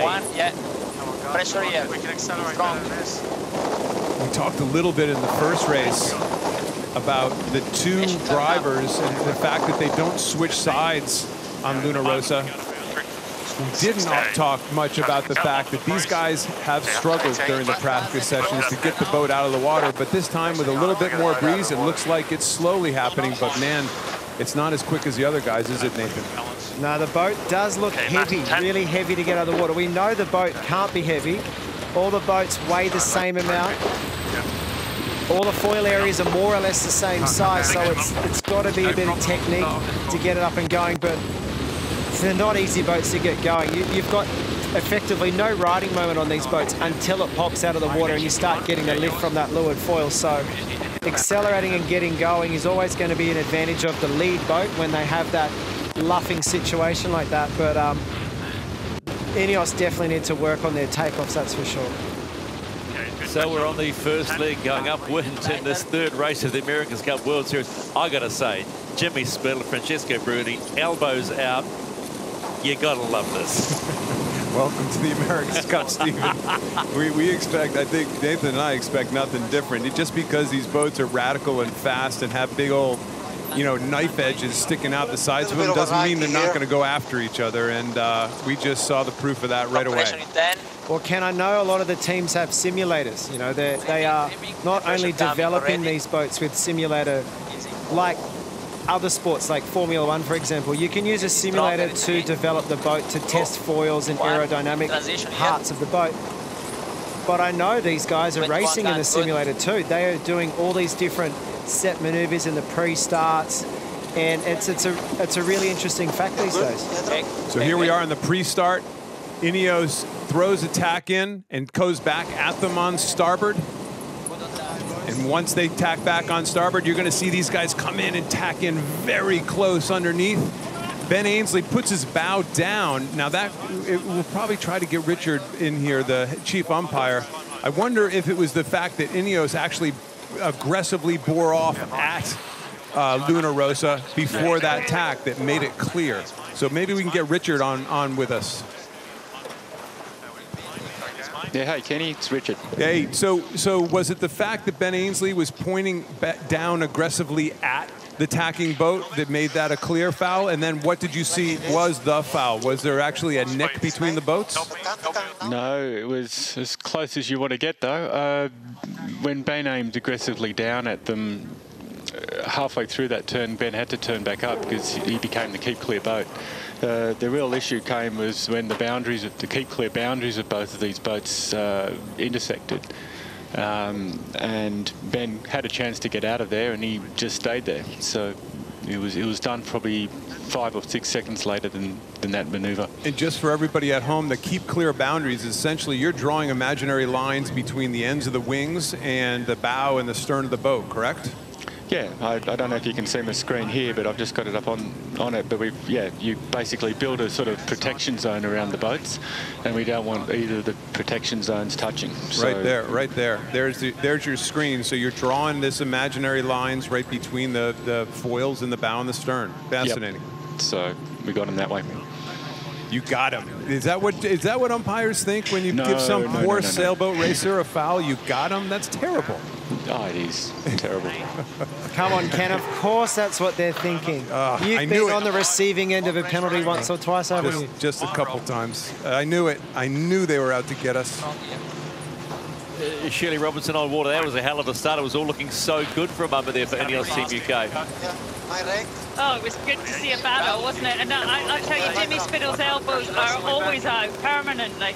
Uh, we're at the top mark. I don't know, I hope you've seen the pictures. And um, Dolorosa Prada out to go round.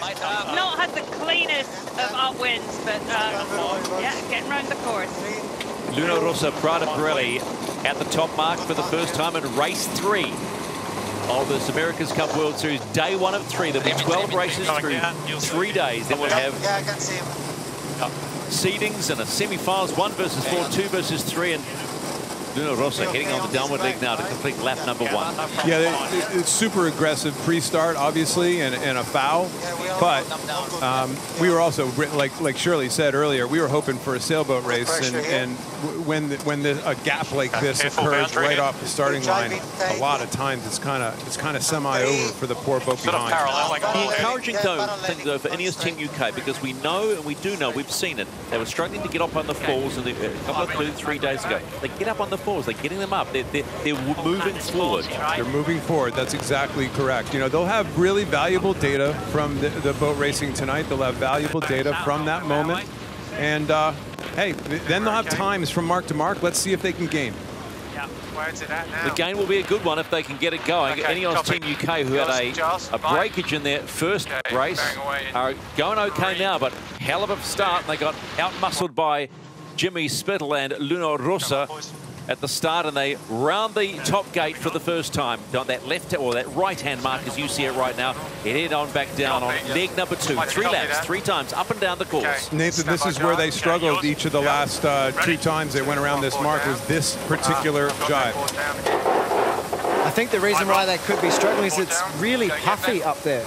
You know, the, the, the wind is coming off the land. It's bouncing over the little volcanoes that are further to the southwest. You can see here from above, there's just dark patches and light patches of breeze. And it makes the boat incredibly hard to sail. You can see here, they're, they're running out of pressure. They really need to get this jibe before they go out of bounds. It's, it's uh, board down on this side. definitely uh, not going their way right now. Right down his head. Okay, turning up. Easy. What's also interesting is you see Luna Rossa doing a jibe in the middle of the race course. Normally, these boats are bouncing boundary to boundary, banging the corners as they go down the course. But clearly the wind must be funneling along North Head down this left-hand side as we're looking downwind. Some concerns with Ineos. Let's listen on board, see what's going on. Yeah, copy. Okay, chase, chase, chase force coming in. Yeah. Okay, they're out. So something's Yeah, happened can't- we again can't with tack it. Ineos. They've got this yacht, so Uh, we might need chase three side on. no, they can't hear us, Giles. So when they uh, when they call in the chase boats, Should get there. That's sure obvious. they got It's enough a very obvious sign, but they're also concerned about getting themselves into the spectator fleet because essentially the boat is completely unmaneuverable at this stage. They, they have no control, so they'll get a chase boat in. Just make sure, Freddie, they know that we need them on the tow here, mate. Make sure they know because So we're going to run into these concerns boats. again and- for Ineos Team UK. When you talk Uh, about let him- let him- don't let us tack, mate. unmovable, unmaneuverable, that's a pretty good example. They're a bit like a log in the water, these boats, aren't they, when you're off your fours? Even if it's a forward toe. I think what's happened here is they've got an issue Yeah, with their whatever. foil cant system. Freddie, That's just tell them to lifting and dropping us. the boards, and you can hear the, the nervous voices on board here. They're they're worried about going to the spectator fleet and potentially even capsizing this boat. They don't want to sit upright, that's for sure. When the sails are Look up at how and, you, everybody and you stop, everyone's doing what they can here. What they really need to do is get that that windward foil down vertical, and But then they- the boat will might get be some stability. might be broken. That that may be their problem. I saw Ben uh, violently pointing down below, like we got a problem them, down guys? there. So uh, Meanwhile, in the happy world of Luna Rossa Prada Pirelli, they are speeding towards the bottom gate for the first time. They appear to be approaching the right-hand markers as we see it. Make their drive in towards the gate. And the interesting that race we, committee, we race haven't committee, Ineos talked Team UK, we're having to retire from this race. Thanks. Confirmation then from Sir Ben Ainslie. Thank you, Ineos. Ineos Uh, Team UK have need any retired from the race. So that's, I'm not going to say Uh, yeah, we're disastrous okay because that's now. early days, but it's, it Rafa. must be incredibly disappointing for the team. Well, yeah, of course. But again, this is what practice is for. They, they have to get out here and, and break things and, and Both make sure competitors, that the you know, umpires um, have awarded the race to uh, Luna Rossa uh, with outside help and retirement of Ineos. There you go. So it's a short race Okay, for boys, so the, Rossa they've already awarded us the race, but we keep doing another lap just for practice. I agree. I knew they, they were going to say that. This is data. This is a, this is the, the world we live in is full of data. So these guys are on this racetrack, kind of competing against themselves right now, trying to Luna Rossa, perfect go their ahead. tacks, trying, trying to per, uh, protect their jibes, perfect their jibes. Ken, the other thing they'll be doing is they want to learn this race course. The teams have been here for months training on the race course, learning the venue. Yeah, race committee, right And here, what race happens is as the weather go ahead. slowly changes coming into summer, what they were doing here in November or October when they were sailing, the weather is slowly changing and evolving. And so they want to learn the race course. And don't forget also, the whole race course is theirs.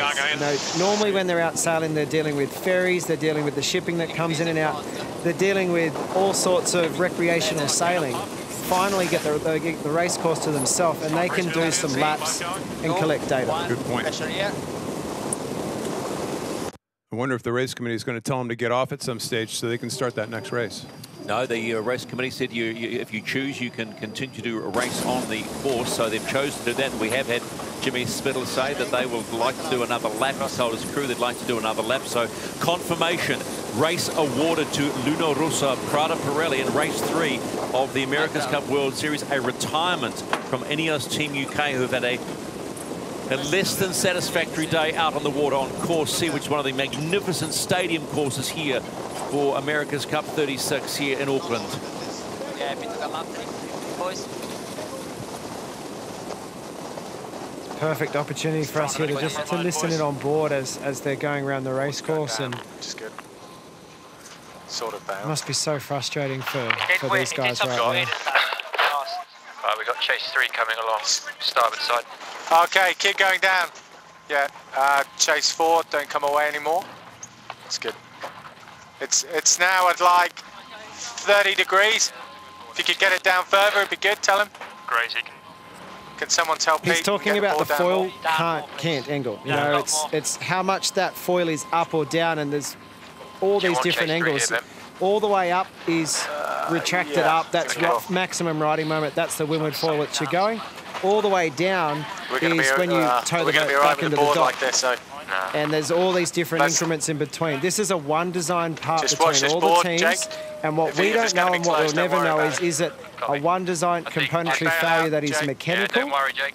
or is it an issue on the, the software side of things? Is it an issue that Yeah, the no, team has to resolve, back or is up, an Jake. issue that the event has to solve for them? And it's, it's a really frustrating situation to be in right now. And We're going to find out when they get back to the press conference this afternoon and Ben explains to us, you know, where they're at. But we know they've had issues for a week now. It looks like they're trying to like almost manually get that thing down right now because the boat is so unstable without those foils down, well down into the water when it's parked like this. They have to get them down or they almost can't get the boat back into the dock.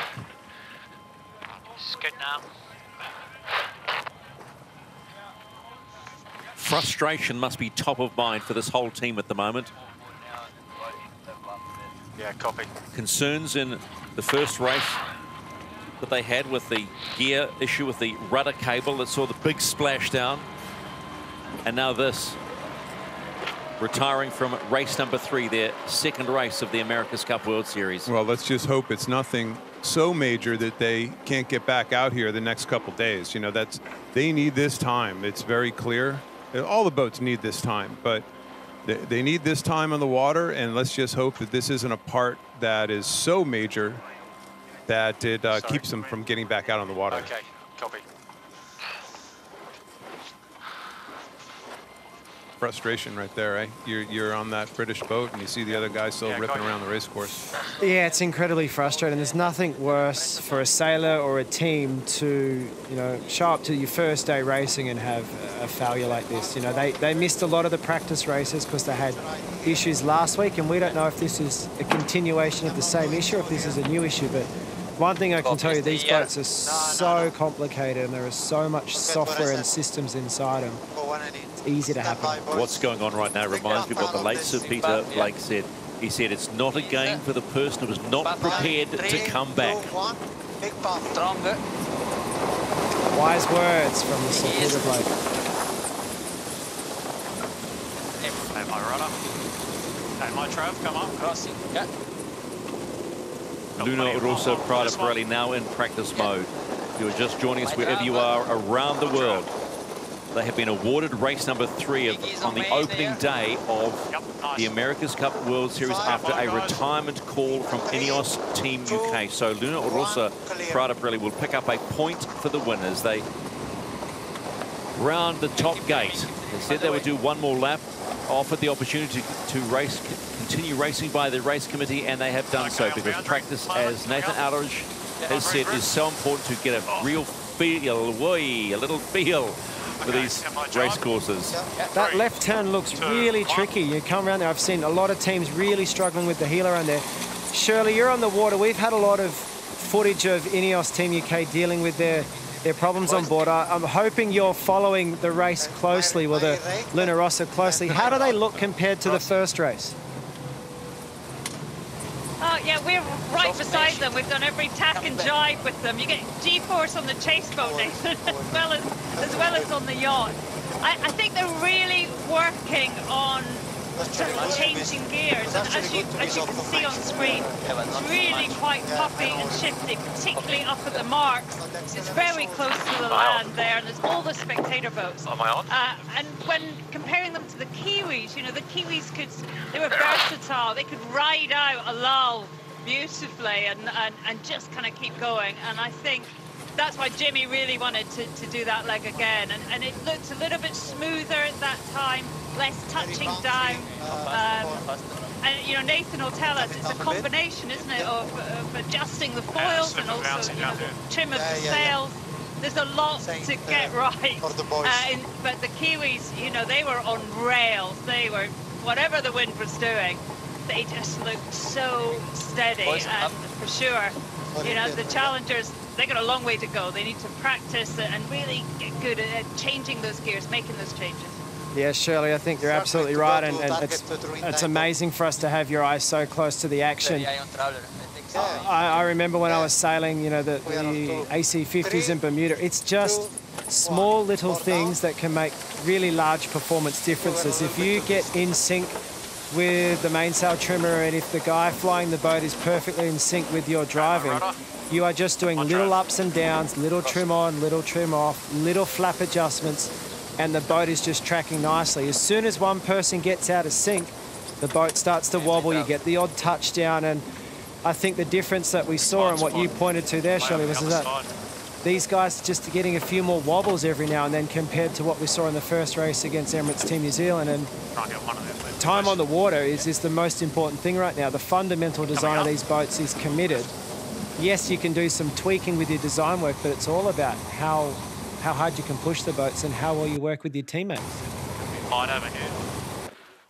What I would love to know as we talk about making incremental gains, because these are literally like cars and aero is so important. From a sailing perspective, Kenny, when we talk about into incremental gains with this class, the AC75, are we talking hundredths of seconds? Are we talking thousands of seconds to, to be the difference? Or do we have to take it because they are so big and so changeable? Are we talking knots by knot or two knots or three knots? Well, you're, you're always chipping away at, at li little gains are not quite as exhilarating as big gains, but you're chipping away at anything you possibly can. And there's never just one silver bullet. It's everything. Uh, you know, these new twin skin mainsails, how, how they can completely control the top four meters of the sail and the bottom two meters of the sail, like never before in, in, in sailing. Who has done that well and who hasn't done that well? Is it is it the foils below the water that are making the big differences? Is it how they can control the the mainsail shapes so dramatically in keeping in keeping it uh, keeping the boat smooth? Um, I, I, it's very funny. I, am getting lots of text messages from friends around the world. Talk about this. Talk about this. Folks, we got we got three and a half months to talk about all these things. We can't we can't burn it all up on day number one. You know, the splash of the water off the foils and the length of the wings and the rudder shape differences and the hull shape differences. I mean, that's the big radical thing. But we got a lot we got a lot of talking to do, everybody. So we can't we can't kill it all in one day. Big crowds in for day one of the America's Cup World Series. They love their racing here in Auckland, New Zealand, and New Zealand in general. Kids out, mums out, all wearing their hats. Well, most of them wearing their hats. And here in this part of the world, the key is to, they say, is to slip, slop, and slap. In other words, just put that suntan lotion on and make sure you're doing the right thing. Look at me, mum, I'm on television. Phones to the ears. And then you get those that are wise. They sit under the umbrellas and of a nice liquid and to cool themselves down. I was down there yesterday afternoon. And under I'll the umbrellas? What, under the umbrellas, I happened to be. And, uh, and we had a nice little cold beverage. And I'll tell you what, they've done a great job along the waterfront here and, and building a wonderful park and for everybody to enjoy. How could you not enjoy this environment right now? We are very fortunate in this part of the world and we should never take that for granted. This is day one of the America's Cup World Series. Just remind you what happened in race number three, a retirement from Ineos Team UK with huge gear failure. Well, that's what we are assuming. It's always dangerous to assume, but it looked pretty, pretty darn problematic. Well, it could be, it could be something like a little hydraulic hose. It could Someone be a fitting. Screw that screw, right? Yeah, well, you keep trying to blame it on humans. I'm trying to blame it on the mechanical part because the humans that that deal with those boats are huge, and they're going to track you down if you're not careful. And, and, and, there's a lot of them also. Don't you worry about that. And they're just next door to where our compound is. So be right. careful what you say. That's right. His, his name is Steven. He's right here. It's, Nathan and I. We'll send him your way. It is a magnificent sight, though. If you've never seen these AC-75s before, if you've never seen sailing before, it is it, it, it, defies belief, it defies logic how what a magnificent job these designers and builders have done to see six and a half ton yacht up on a single foil and a rudder. Remember, everybody, we have one more race to go, and this is kind of right now the highlight race of this regatta so far as to this point, and that will be uh, New York Yacht Club's American Magic versus the Defender, Emirates Team New Zealand. So this is uh, this is a bit of a well, it's a bit of a grudge match. Maybe if you can if you can have a grudge match early in a regatta in an event like this. The, the, the Americans beat up the Kiwis in one of the practice races the other day. Wow, you said beat up. You well, called 10 seconds being a beat up. Well, it's all relative, isn't it? Any loss by Emirates Team New Zealand is a bit of a surprise. Oh, these poor guys. It's so frustrating, isn't it? There's the sad side of Ineos Team UK. Almost, un, I don't wish to be unkind, but they, it looks beached. It's just a shame. Just so much work and so much effort.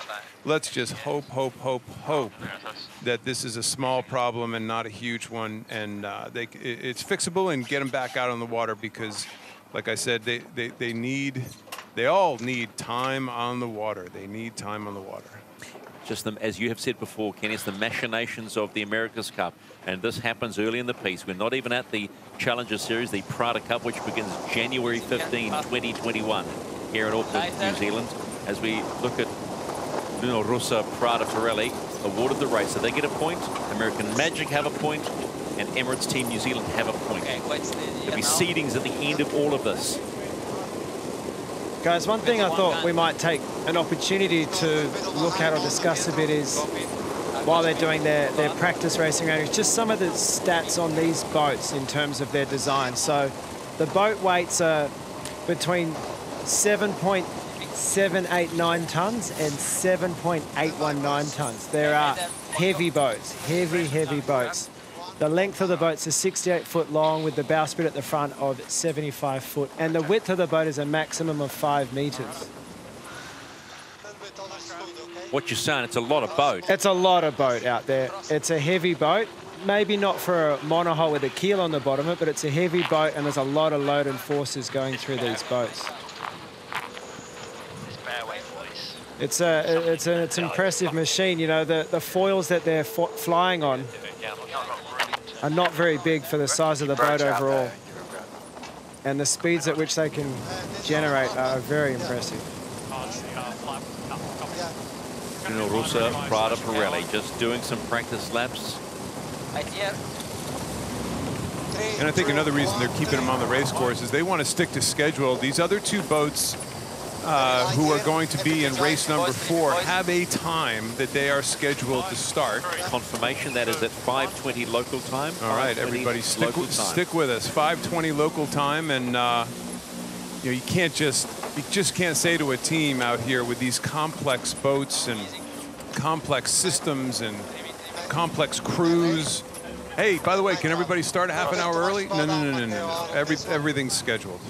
Well, while we are looking at Luna Rossa Prada Pirelli, the one thing that still fascinates me, and I know you you, you love sails, Kenny, is that there's no solid boom in the, the, the mainsail of Luna Rossa Prada Pirelli nor Emirates Team New Zealand. Yeah, we have two completely different concepts. We have really kind of a structured boom, uh, nor you just call it a normal boom for that matter, on on two of the boats, and then on the other two boats, something completely different. And that's that's what I mean. We're going to get under the hood of of how these sails, uh, how these sails actually work, and and again the systems.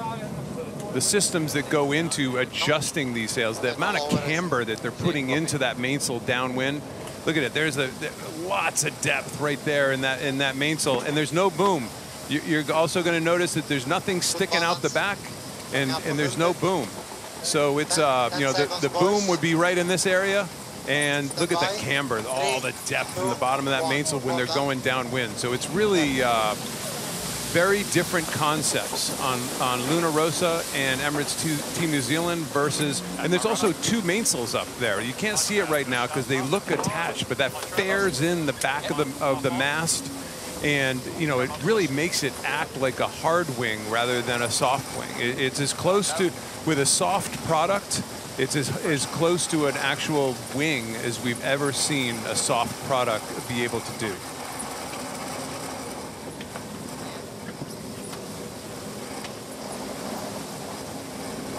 Fascinating. And they're just learning. I, I talked to a lot of the teams. I, I talked to all the sail designers um, they're just starting to learn how to how to how to use these things and they're all fascinated at the other boat Nathan you know it's part of the mystique all the boats are always following around the other boats with their chase with their chase boats and they're trying to figure out how others look at look at the depth in the in the top of that sail right now and that will be four that will be flat when you go upwind just incredible surely th these guys, you're you're still following these guys. They're just ripping around yeah. the race course, and it's gorgeous. I get my miles in, that's for sure. Um, it, interesting the mains, and I'm so looking forward to finding out a bit more. I mean, the the coffee shop chat in the mornings is about the Kiwi systems, what's inside those two mainsails, you know, how they can bend the mast more than anyone else and uh, get more camber and, and, all of that. And we're going to see that develop, aren't we, over the, over the coming weeks. And uh, it's frustrating because we can't actually see it, but uh, we're definitely going to see speed differences in, in there. It's, it's really interesting. Luna Rossa Prada Pirelli, the challenger of record in the third race of this America's Cup World Series on day number one, conclude their race. Was awarded a couple of laps back after a breakage by Ineos Team UK, but they do the job. And I know it's Italian. Boy, they look pretty. Always to be expected. A great, uh, aggressive match racing start. Really, I give Francesco Bruni. It, it, it's very easy to give Jimmy Spithill because of his because of his uh, multiple America's Cup wins the credit, but the, these guys are doing something that's never been done before, Nathan. They're, they pick a side, Spithill on the starboard side, Bruni on the port side, and they're driving off of that side, and they're not moving. So it's really something that we've never seen before. Yeah, you're absolutely right, Kenny. They're sharing out the driving duties, they're sharing out the tactical decision making, and they're even sharing who's flying the boat. So you know, I think for a very long period of time, people thought, you know, there's a helmsman, he has to drive the boat, he has to be in charge of what's going on, he listens to his tactician, he makes all these decisions. But what we're seeing today is that, you know, there are different ways to skin this cat, and it's a big teamwork effort. Bruni, Bruni did a really nice job in that pre-start. He, he, he tucked it in there tight, like Richard Slater said, our chief umpire he wouldn't have wanted to see it any closer than that, but but he considered that no harm, no foul. Tucked it in tight. They got uh, Ainslie in a tough spot, and sure enough, he broke that imaginary boundary between the outside tip of the foil and the transom and got a penalty. Let's go to Ben Ainslie right now. Ben, what happened? Uh, we had a well, we've been having issues all day with our foil cant system and and batteries. So uh, it's um, been a been a challenge for us, to be honest, just to sail the boat. And unfortunately, the whole thing shut down in that last race. We couldn't uh, lift or drop our boards, and so we had to pull out. So it's a real shame. It is a shame, but Ben, it sounds like it may be fixable. I mean, I, have been in that spot. You're walking around right now saying, oh, please let it be fixable so we can get out here tomorrow. Yeah, I think it's fixable. You know, the guys here, Andy and Joe, I mean, those are guys who uh, solid, you know, putting their solid hours in trying to get the boat operational for us. So, you know, we'll be we'll be out tomorrow. But it's just, you know, these boats are so technical that you go through periods where it just shuts down on you, and it's uh, it's a tough position to be in. One final thought, Ben. How are you feeling? I've had better days. Had better days, but you know, this is uh, this is the America's Cup. This it's a it's a development sport. It's a technical sport. It's part of the challenge, and uh, we'll go back. We'll regroup. We'll come back. Have a better day tomorrow. Nice words. Thanks, mate. Good luck.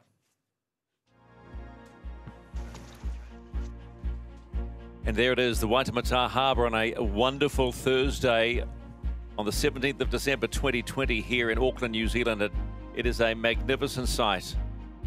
And this is the venue for the 36th America's Cup. Let's go back on that race. Well, this all happened in the pre-start, and we had our first real confrontation between two boats. Ainslie aggressively tacks to starboard and puts his bow right down at Luna Rossa. Remember, he's coming at him going almost 40 knots right there. So this is not for the faint of heart, but the judges determined that Prada kept clear, did their tack, and all of a sudden Ainslie is in a tough spot. Windward boat, can he keep that boat out of the way? And remember, it's not running it. At one stage, I thought the wind instruments actually ticked the back of, uh, of Prada, but they say it didn't. I, it was close right there. well, Richard Slater obviously said it was too close for his liking and the penalty was given. Penalty clear, penalty clear. So that, so all of a sudden we got that same that spot that Nathan's been talking about is is where they get down in the water on Ineos and they've been struggling to get out of the water. And when that happens, just distance gets chewed up, just gets put on so fast, and, and they're gone. Well, but then we had the big issue, and this is the issue that ended their day. Uh, they splash down into the water and have no way to actually move one of their cant arms, as Ben Ainslie just reported to us. They have uh, batteries and a canting system uh, failure, and they think it's fixable. They think they're going to be out again, but they have to withdraw. And not just withdraw, but gets a little dicey because these boats are very, very uh, tough to keep upright if you're not careful. And there's boats out right in front of them. Uh, so they're, they're, you know, they, you heard some tension there for a couple minutes.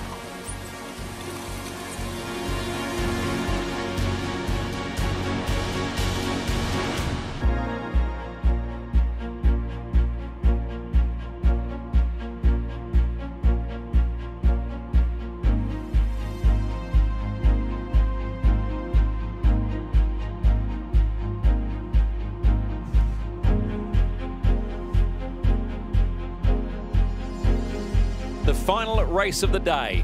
Two winners from their races. American Magic on the left, Emirates Team New Zealand on the right. Two boats that are extremely quick.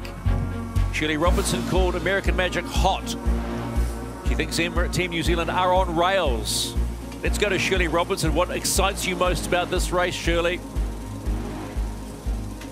This is the match of the day, Stephen, isn't it? You know, the two winners uh, from today, and both we think are going pretty well. So excited to see how the Americans match up in, in, in the breeze. It's going to be good.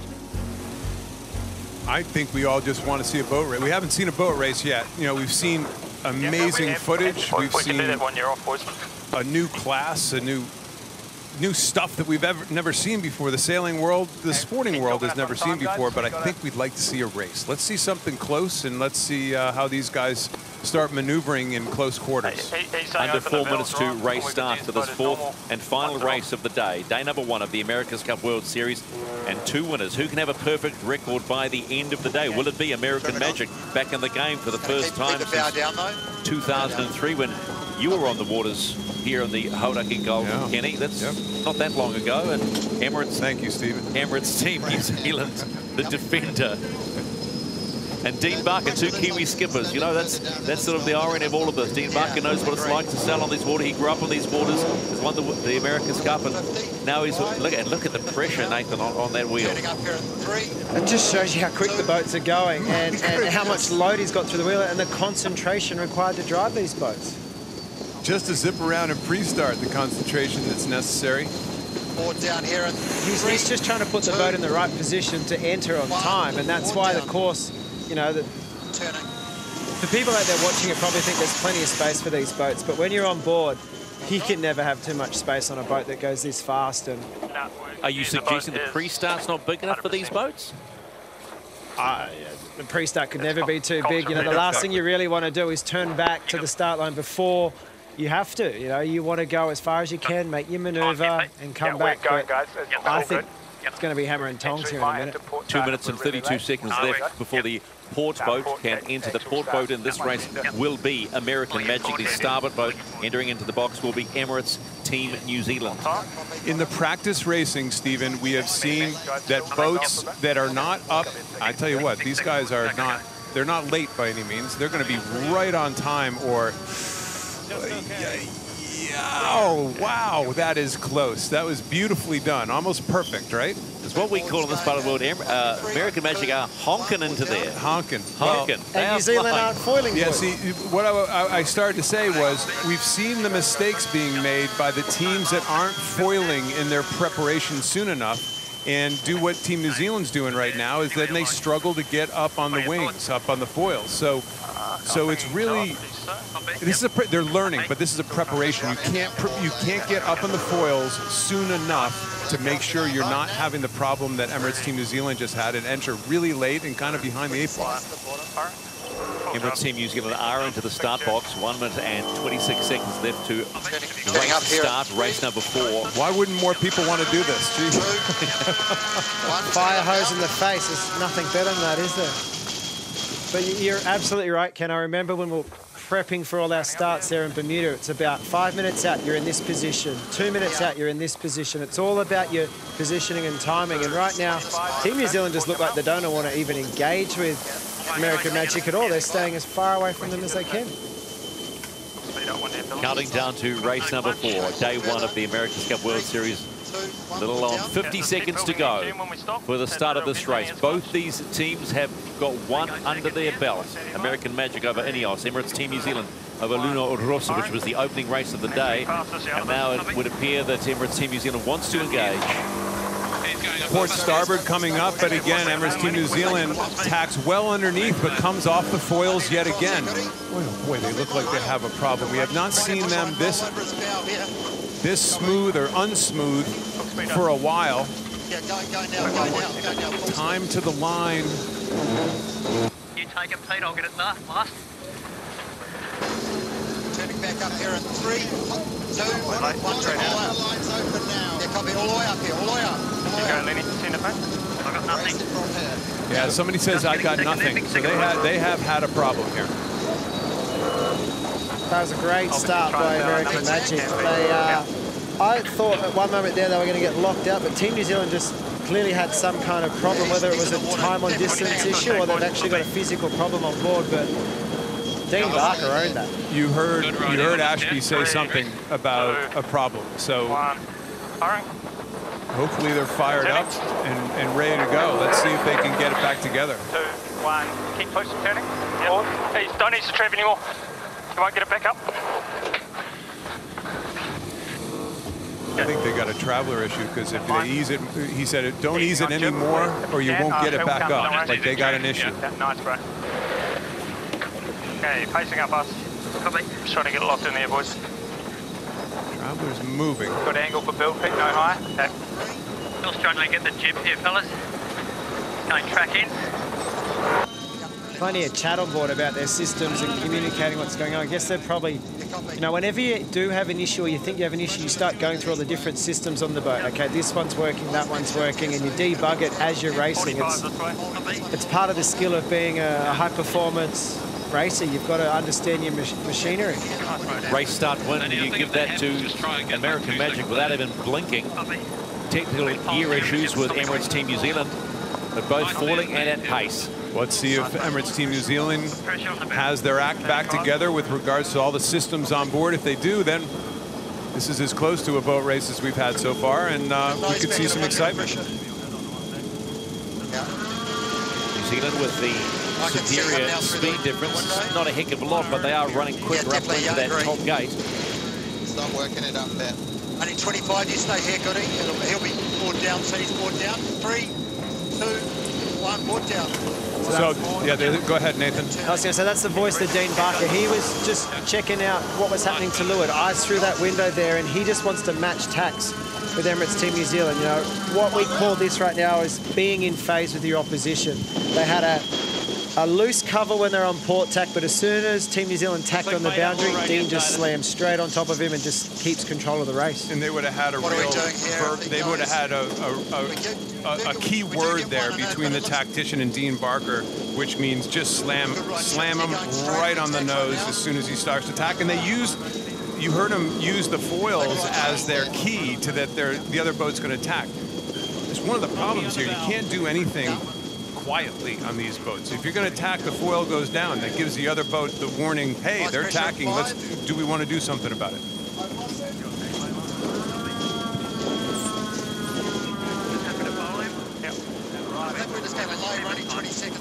So American Magic with a 100, just say, let's say just under 200 meter lead on Emirates Team New Zealand. We're on lay here, theoretically, standing by. Emirates Team New Zealand with a slight speed advantage as they head towards that, we'll call it the left-hand side boundary.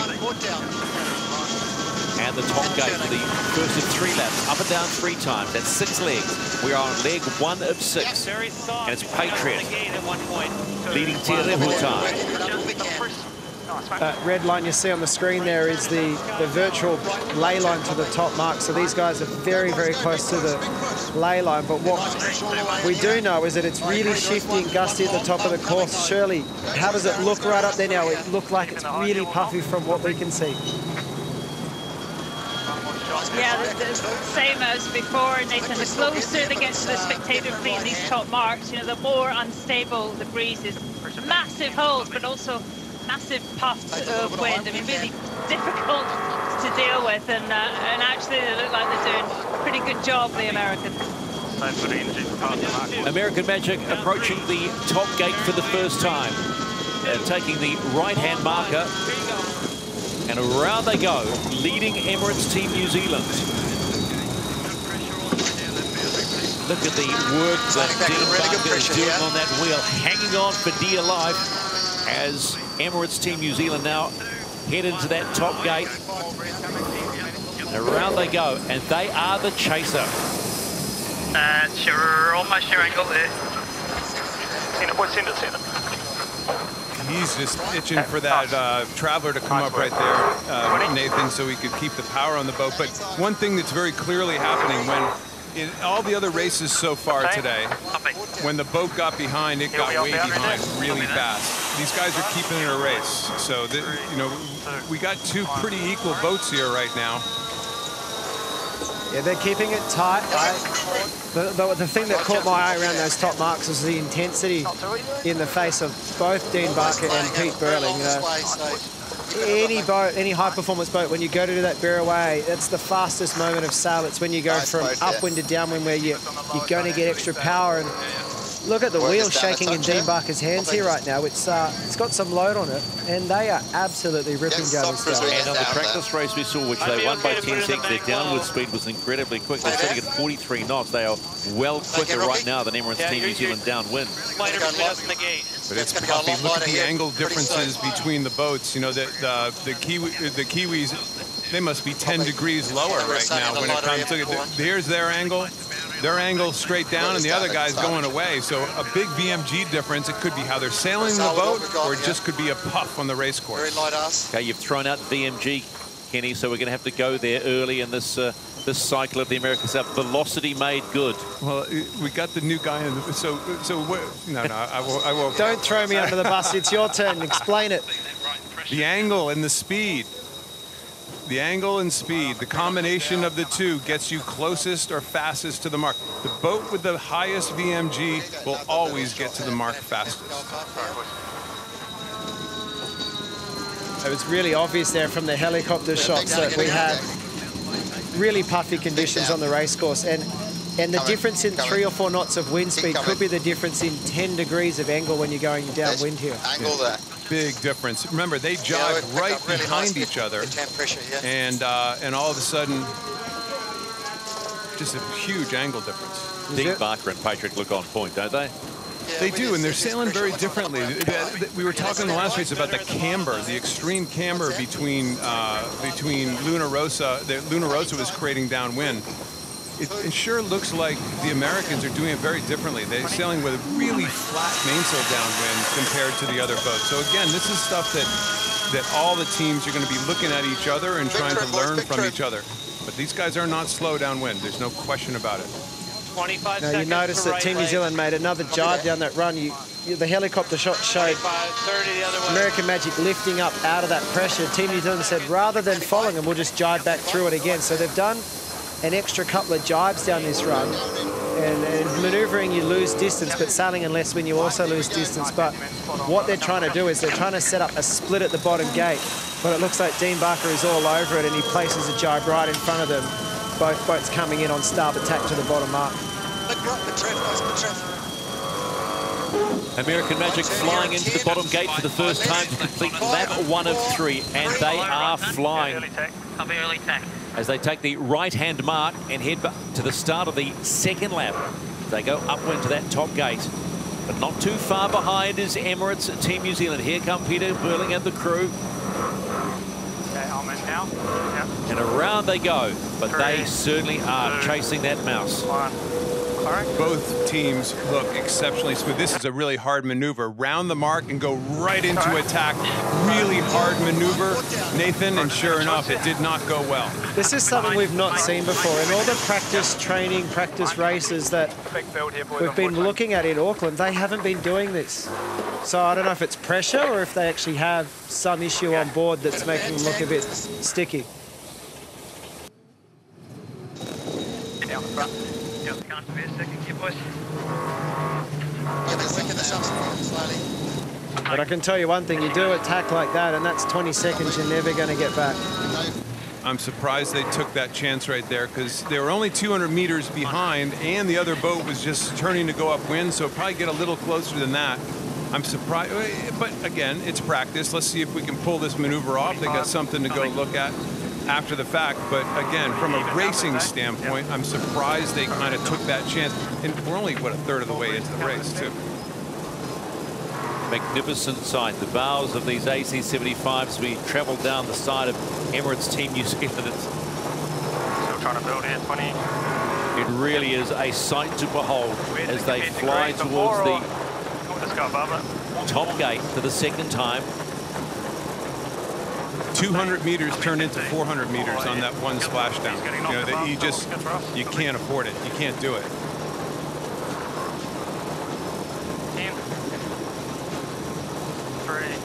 So Emirates Team New Zealand traveling close to 40 knots. USA traveling around 37 knots. They are flying. Keep pressing.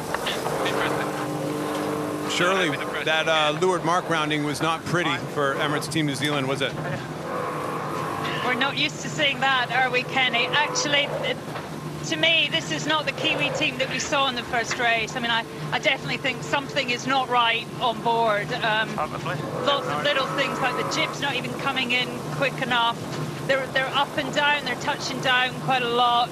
It's just not the, the flawless, consistent, on rails Kiwi team that we saw earlier in the day. So it'll be interesting to hear um, what's actually going on. Saying that, though, looking at the American team, they they look solid. They're fast in a straight line. Um, I know they're confident about their, their windy weather speed. You know, they, they think they're fast. Um, but I'm not sure this is, is quite the match that, that we thought it was going to be. Not going to make back my line. Yep. I'm back in 10 here. Three, two, one. Sorry. One thing it looks to me is that the, the jib on American Magic is a little bit smaller than what Emirates Team New Zealand are using. I know they've got four or five different codes of jibs, and I've heard the sailors talking a lot about how critical it is to, to pick the right sails for this race. I don't think that's, you know, completely the issue here right now. I think that there's probably some other issue happening on Team New Zealand that we're not aware about. But American Magic look like they've they're, they're locked in. They're dialed in, Well, and they're they're down in the water again. The Kiwis are uh, were down in the water again there for a second, I believe. So Still got no clutch. Yeah. yeah yours. we, we, we were giving uh, we were giving Sir Ben the, the benefit of the doubt in that last race that something must have been wrong. You know, these guys definitely had problems in the pre-start. There must there might be something wrong on board the boat as well. Still nothing. There it. Go, boys. Going well. Nice fella. That's the voice of Glenn Ashby. He's uh, still got some upbeat tone in his voice. He knows that they've got a problem on board. They're just dealing with it. And again, it's you never know that there could be a problem d- that might happen on the other boat. Let's keep it close and let's try and stay close enough. If, if an opportunity presents itself, they want to take this race win. Which, by the way, is leads to another reason why that leeward mark, you know, kind of uncharacteristic move might not have been the right, you know, they're, they're going to go back and look at that. Might not have been the right call at that moment in time. You got two thirds of the race to go. You think you got a quick vote? Why take that chance and kind of end the race as it looks, at least right now, in one maneuver? Patriot representing the New York Yachts Club back in the game on the Hauraki Gulf for the first time since 2003. And they are doing the job right now You can see it there roughly. on Emirates Team New Zealand. They beat them the other day in a practice race by 10 seconds.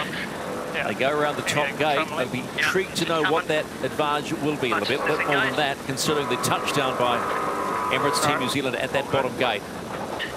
But away they go. American Magic. Yep. Still a 15 degree righty here, just FYI. Up here. Yep. Much lower aspect jib than the Kiwis. Five away. Emirates Team New Zealand coming towards the left mark in the top gate and it's 25 plus seconds behind American Magic. Getting light in this corner, Pete. You can tell by the upbeat mood on that boat, they are not giving up. They will throw everything at this. Fine. Sorry. Interesting that they that the Americans. I think it's very light air in that upper right. Uh, as we were just looking at the screen, that right-hand corner. So both boats get out of that side pretty quick. Shirley, is it is it obviously light where they were going? It, I can't tell you how close to the shore it is there. I mean, this course is crowbarred into the harbour. It really is. There is no margin. Uh, and the same at the bottom mark, you know, literally the boats have about three seconds and they'll be on the beach. So they're very, very close. The land is high and sometimes it's a big path and sometimes there's nothing. You know, they're very, very difficult um, conditions there. Shirley, it sounds like it's a sailor's race out there right now. Yes, the, the speed differences of the, the equipment might be making it easier or harder, but if you're not in the right place at the right time and you're not executing your maneuvers and capitalizing on the, the weather around you, you're going to lose. So definitely a sailor's race happening on the water from what I can see here. I agree. This is a this is a great race venue. I mean, loads of loads of opportunities. Uh, it reminds me a bit of Sydney Harbour. You know, lots going on. You can almost you can almost smell the city of Auckland here, and you can hear the people on North Head. You know, it's it's all on, and uh, yeah, there is nowhere to hide on this racetrack. 360 odd meters between the two yachts. Negative play right. It is American Magic, Patriot leading Emirates Team New Zealand. They have a stronger speed downwind, as we have said before, sitting on just over 40 knots as opposed to 38. They're not getting further behind right now, Nathan. Uh, this is a bit of a comeback with the Kiwis, and whether that is tactical or whether that is uh, in speed, I'm sure we'll uh, we'll be able to figure out some of that later on. Sure is. They sure look far ahead though when they're looking through this angle, don't they? The, the boat in front. Yeah, looks can be deceiving from different camera angles, but, but right now you, you're right that they've matched jibes down this run. They're, they're pretty much following. The distances hasn't been changing too much. You know, perhaps maybe they brought in a little bit of extra wind down, but one thing is, is that, you know, the wind for these guys is not necessarily coming behind and catching them. They're actually sailing through the puffs downwind. So all it takes, as we saw on the first run, is American Magic to sail out of the front of pressure, and Emirates Team New Zealand will actually slowly catch them up as they go down. So that's why I think you know you you got to be on your game. You've got to pick the shifts, and it's not easy out there. But gee, one small mistake can be so costly, so costly. And Kenny Corder was four, 500 metres, and American Magic were away. It's now 460 odd metres as American Magic heads into the bottom gate and will start the final lap that completes four legs. Remember, three. times up or down. Six legs, three laps. And Dean Barker just steers them around that right-hand mark and uh, head up towards on the upward leg for the final time. Be interesting to see if these guys try that other. They are going to try it. They're going to try to do a, a last-second jibe right at this mark to create a split right away. They're still they're still racing. There's no question. They're still doing hard maneuvers. And on those numbers, it was 20 seconds. They've picked up at least Emirates Team New Zealand five seconds on the downward leg. And they've split the course, so they're out of phase, so they're giving himself an opportunity to get back into it. And just looking at the angles of that gate, it looked like they took the favoured mark. You know, sailing less distance, out of phase. All they need now is a little left-hand shift, and they could be coming off that boundary in great shape. We're going to have to ask Marcelino Botín at some stage, but that that boat is shaped like a whale, if you ask me. I mean, like that beautiful feature of a of a whale, of the underbody of a whale. What sort of whale? I was going to say. Um, sperm whale looks a bit sperm whaley to me. And by the way, I say that with all due respect. I can hear all my friends at home saying, "Don't call my boat a whale." Well, no, I'm saying that in all due respect. It's like you, you say something shaped like a beautiful wing of a, of a bird, of a fast bird. Well, it, it does. It has this incredible feature to it, doesn't it? These guys look slick, don't they? They've, they launched their boat first from memory. They've done the most hours in their, their race boat out of all the teams. And I think the most hours out of their uh, practice boat as well that they called the Mule. These guys don't go away, though, do they? Something like just on 400 metres down downwind was the gap. Now it's almost uh, shaved that in half. And Emirates Team New Zealand with superior speed going upwind. Can they run down American Magic? Ah, here we go. Tack, tacking duel upwind. We got a tacking duel for all you people that said it couldn't happen. Coming up three. It's like a 12 meter race, except different. So we do the same again here, Terry. They're talking about let's do the same. That means they just want to stay in phase. A lot of times the boat leading is is willing to give up a little bit of distance in order to take away the big game from the guy behind. So let, let's tack, tack, tack. Let's stay with them between your, your opponent and the hoop. So what's the play, Nathan, by Emirates Team New Zealand? What are they able to do heading to the top gate for the last time? Just got to keep tacking. Keep, you know, when they're on the lifted tack, take a bit of a gain. The more you tack, the more they're going to tack. You're trying to draw an error out of your competitor here right now. So they're going to roll into attack, and American Magic are just going to match him here straight away. And what these guys are getting right now is valuable data. Who's gaining the most or losing the most in attacks? To me, it looks like New Zealand have resolved whatever problem they had earlier, and they're coming back into them here slowly. American Magic haven't done the greatest of tacks. Still on the foil, but you know, if I was Pete Burling right now, I'd be going, oh, well, let's do another one. Let's keep putting him under pressure. So what's the apparent wind angle on these boats right now, Nathan? Super narrow. It'd be in, in and around 15, uh, like 11 degrees probably. So in a normal boat, the Kiwis are in the bad air of American Magic, but in a boat like this, Uh, not the- even close. You almost have to be in front. You, you, you have to tack directly Yeah, in yeah. front to affect him. If you are like a boat length to windward, you, you've got pressure.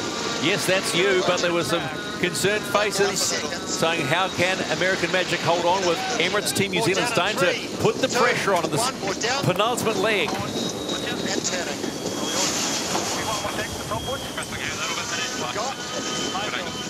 I, I agree with something Nathan said, that Dean is not a very vocal guy usually. You've heard some tension in his voice maybe a little bit during this race, and just the fact that they are not letting them out of their sights right now means they, gotta, 20 seconds they to think they lie. got a race on their hands. I think going Well, one considering on right. Emirates Team New Zealand had what were appeared to be issues, gear issues at the start of this race, to get back into this race after that, that poor rounding, splashing down 400 metres, and they're well back in the hunt here. Yeah, but th- this is where they're going to be kicking themselves for trying to take that risky move the first time around, that, that uh, gate number two, that risky move that cost them a lot. Man, if, if Team New Zealand are on lay line here to the top mark and America have gone further, we've got a big potential for an overlap coming to the top mark and a lead change. So I can't see from this angle, but man, he's definitely coming in. You know, they're inside 80 metres now. You can hear the pressure being mounted all the time here. Just pressing the pressure valve. Shirley, we wanted a race. We got a race. Both boats will be left gate. It's so exciting. it's fantastic. And the Kiwis are coming right back into it. Actually, when they tagged, they tagged in a lull, the Kiwis. Didn't execute it quite as well as we've been used to seeing them do. And, and the Americans, Dean might be excited, but he's keeping a calm head. I mean, their maneuvers have been exceptional on this leg. American Magic, they, they tack, so do Emirates Team New Zealand. Could be that inside overlap that Nathan was talking about. Top gate for the last time, watching closely, left mark. They got it. They got the inside overlap, and they're not going to. They have no reason to bear off until they want to. Wow! One bad tack by the Americans. Emirates Team New Zealand take the lead in both protests. You're kidding me, aren't you? Dean Barker just went one boat length too far. If he had just tacked that one boat length earlier, This that is the situation never would have Penalty developed. USA, but cleared. Penalty USA, but cleared. And now Team New Zealand do a bad job out of all of that. So Team New Zealand got the lead, got the penalty, drew the penalty, but now they're off their foils. Dean Barker there and the team are going to jibe on the boundary. It looks a little lighter over there, but they've been foiling and ripping the whole time. This race has just come alive. I'm really surprised they they left control right there. Team New Zealand had control, and they jibed out of it right away. They must really think it's light air in that upper corner of the race course. Still high, my Ah, they lost control again. Nah, Look at that. Exactly. I reckon the Americans got out of that. You know, they made the error, and then Team New Zealand just jibed and, and gave the race back to them again. And a protest, and they and they burned off a protest. So But it's not, it's not over yet. You know, you can see there's a lot of pressure between the two boats there. It's not over yet. Inside overlap coming up to this gate mark, taking a left turn. Inside overlap by Emirates Team New Zealand. They don't have to turn around, and then all of a sudden they extend away. They push the button. The Americans actually had a had a protest against them, but they jibed out of it. I thought they would have clean air coming out of that maneuver, and they could have stayed in that spot. But obviously they thought otherwise, and here we go, another pass. Not much in this race still. It's still very close, and they're they're split tacks right now. I like the look of where Dean Barker's going. He's going into more pressure. That that side of the race course always looks like it's had more wind. Shirley's. What can you see on the water? Is there one side that's got better pressure right now?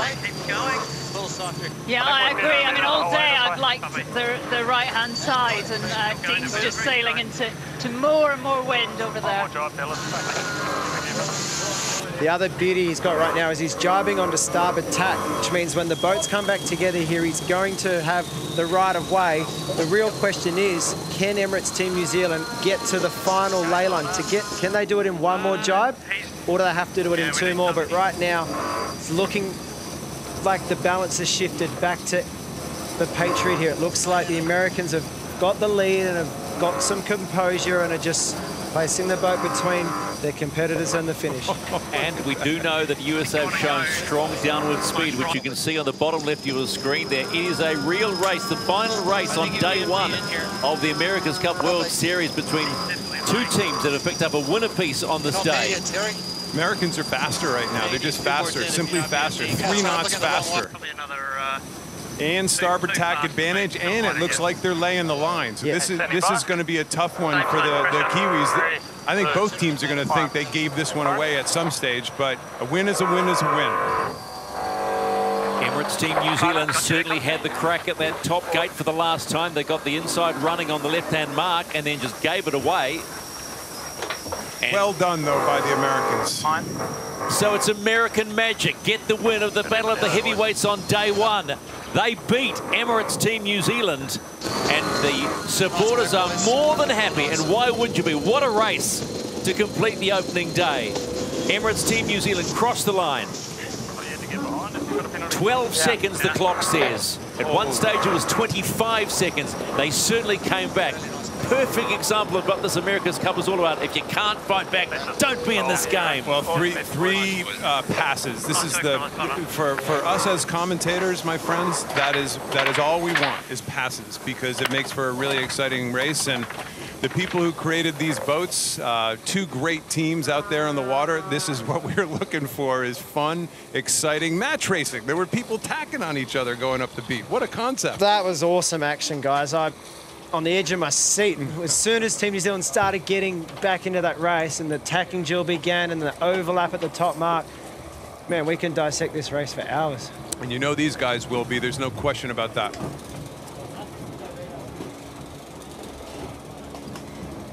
Let's go into the water as uh, Blair Tuke and Peter Burling have a quiet chat with each other. Is it, Shirley, you said earlier on in the day that American Magic, they were hot. Their downward speed is hot. Yeah, they've got wheels when the breeze is up. There's there's no question there. And to me, they just got faster and faster as it as it went on. And actually looked, you know, they didn't make many mistakes. So the maneuvers were clean as well. And in that race, you know, the mistakes were, were largely the Kiwis. Early on in that race, the Kiwis did not look settled. Something was going on, but they obviously they obviously managed to fix it and get going. But you know, what a boost to this American team. What a what a race that was for them, and a, a great first day here in Auckland. Well, that's two from two, guys. If Yeah, you include two the practice racing from the other day. Risky maneuver, though, walking around at a very pro-Kiwi waterfront with an American flag, kind of stirring it up. I, I'm That- not. that's okay because there's a Kiwi on the American boat, so we'll, we'll balance that out and go to Dean Barker right now. Dean, hell of a race. Congratulations. Great win.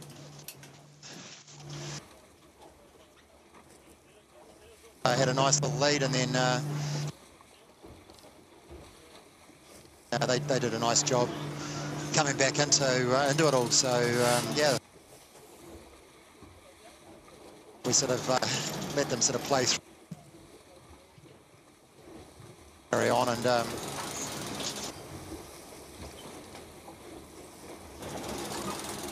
Our apologies there. Day one gremlins, you might call it, but you saw one thing that was quite obvious on Dean Barker's face, Kenny, a smile. Smile. What a concept. It- it- it- that's fantastic. Listen, good for these guys. They've had, like Nathan said earlier, they've had more time on the water through all of their different boats than anybody. Probably relied less on the simulator and, and less on that kind of technology and did it the old-fashioned way. They've had time on the water and they look like it. They're sailing smooth. Confirmation of the last race of the opening day of the Prada America's Cup World Series. American Magic have the perfect day, two from two.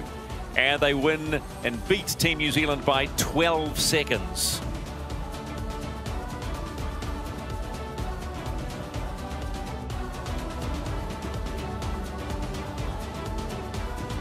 Here we go. S- some of the statistics in the race. So upwind speeds go the Americans' way. Downwind speed goes the American way. So let's go to distance sailed, and sure enough, distance sailed goes the Kiwis' way. Those are the three big numbers that we're always looking for.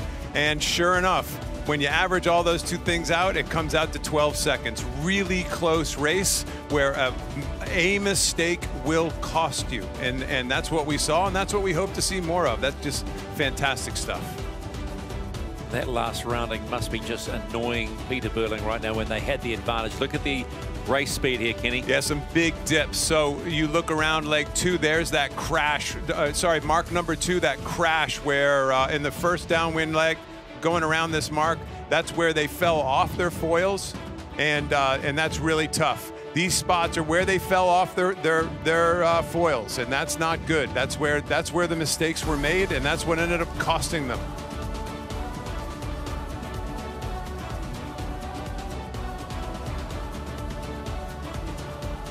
So the win to American Magic, representing the New York Yacht Club. Peter Burling, the helm on Emirates Team New Zealand, is standing by to, to have a quick chat. Got to say, Pete, great race. Yeah, we definitely, um, you know, didn't make life easy for ourselves in that one. We kind of, you know, had a little bit of an issue before the start and then kind of compounded into trying a few too many, uh, I suppose, tricky manoeuvres on my behalf. But no, it was great to see, you know, what the boat could do and, you know, to be able to make that many mistakes and still be in the race is, you know, pretty pleasing for the weeks ahead. Hey, Pete, it, it, you guys haven't raced in a long time. Nobody's really raced in a long time. It's been such a strange year. Is some of it? Could some of this also be a little bit of rust, or or or not? Yeah, we- we were having a few little issues in that, that last one for sure. Um, you know, I think if you looked at our performance, it definitely wasn't as polished as the first. But, yeah, for us, the positive thing was just the boat was going super quick. Um, you know, it was good to have a bit of interaction at the top mark. Uh, kind of ended up, I thought they got a penalty, but they didn't seem very far behind us. So I'll have to go back and review and have a look at what happened. Yeah, Pete, it's Nath here. Um, it looked like you guys took control at the at the very top mark there, and you know, as we said, the the penalty did go to them.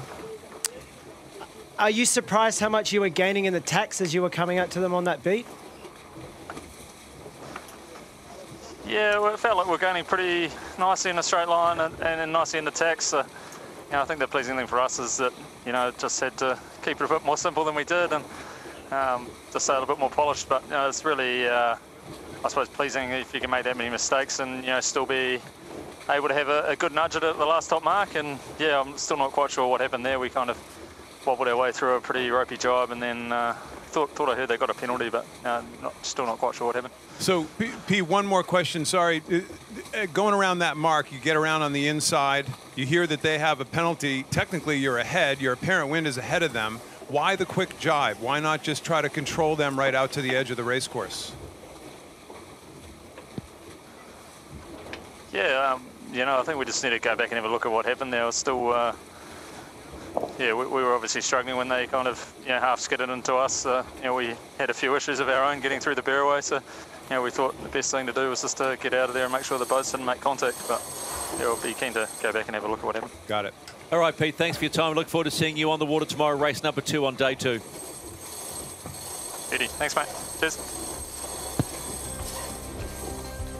Let's go back and have one final look at the final race of the day. The Kiwis struggled during this whole uh, pre-start, Nathan, because they, as Peter said, they had some issues and they were trying to fix them. And good for them for actually getting control of their issues because they got themselves back into the race. But during this whole, uh, they were late coming into the box. They were uh, late getting to the starting line. They they were off their foils a fair chunk of time and gave uh, American Magic the head start that, well, we all love to see, but it didn't make for a great race early on.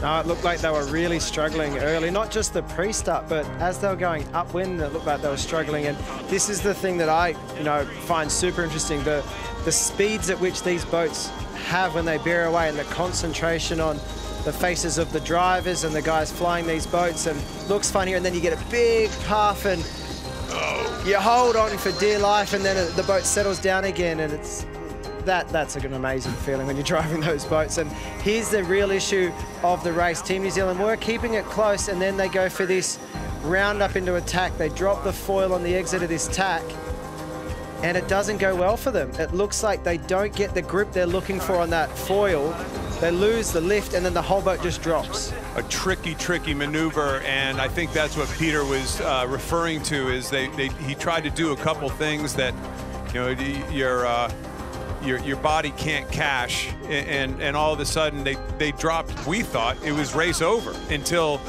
Wow, a comeback. One little bad tack by the Americans at the top, an inside overlap, and a foul by the Americans. But like I said, I was really surprised. They got a little skittish here. Everybody's, both boats are a little skittish, so they decide just to jibe out of there. Yeah, there's a lot. Listen, there's spectator boats right there. That, you know, going 40 knots in that spot. I'm guessing they got a little bit on their minds. Well, preserve the assets, but make the mistake, and the Americans go on to win the race, and, and good for them. Uh, that time in the boat seems to be paying off right now in these early stages in, uh, in, in, in what is going to be a long, long event.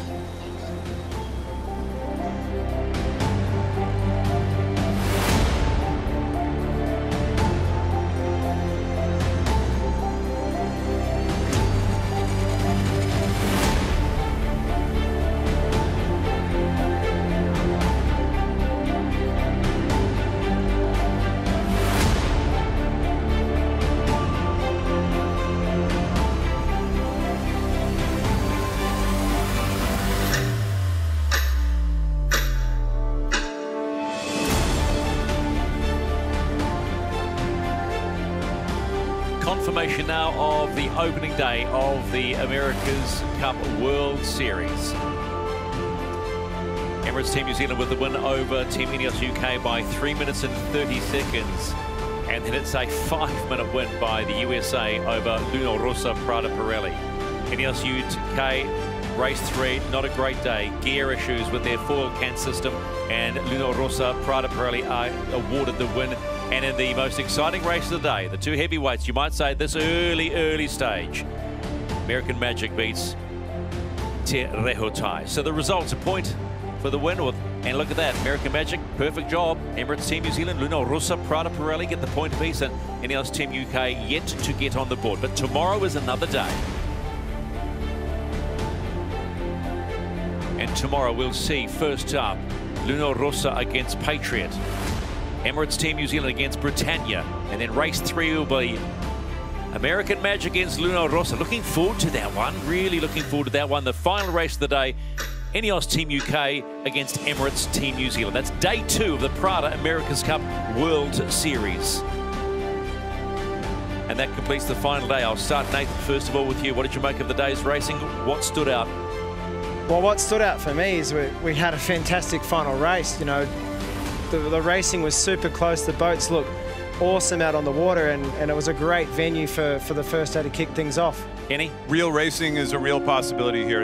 A new class of boat, very often you're really nervous that you're going to just get five minute leg, five minute lead after five minute lead. Now, all of a sudden, we have proof that we can have real racing in the fastest boats in the world. Quickly onto the water, Shirley Robinson, what stood out for you today?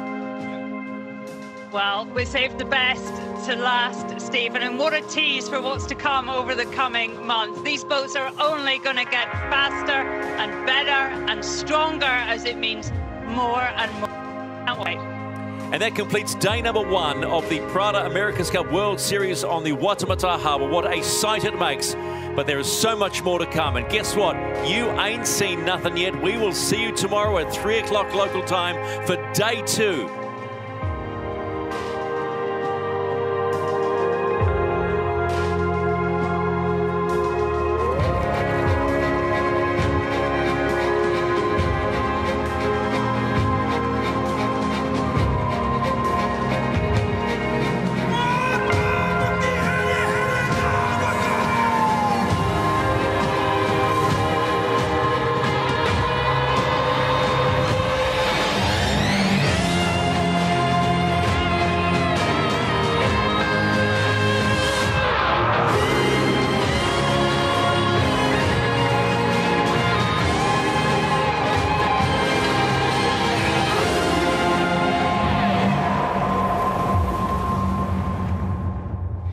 Today's America's Cup Racing is brought to you from Auckland, New Zealand.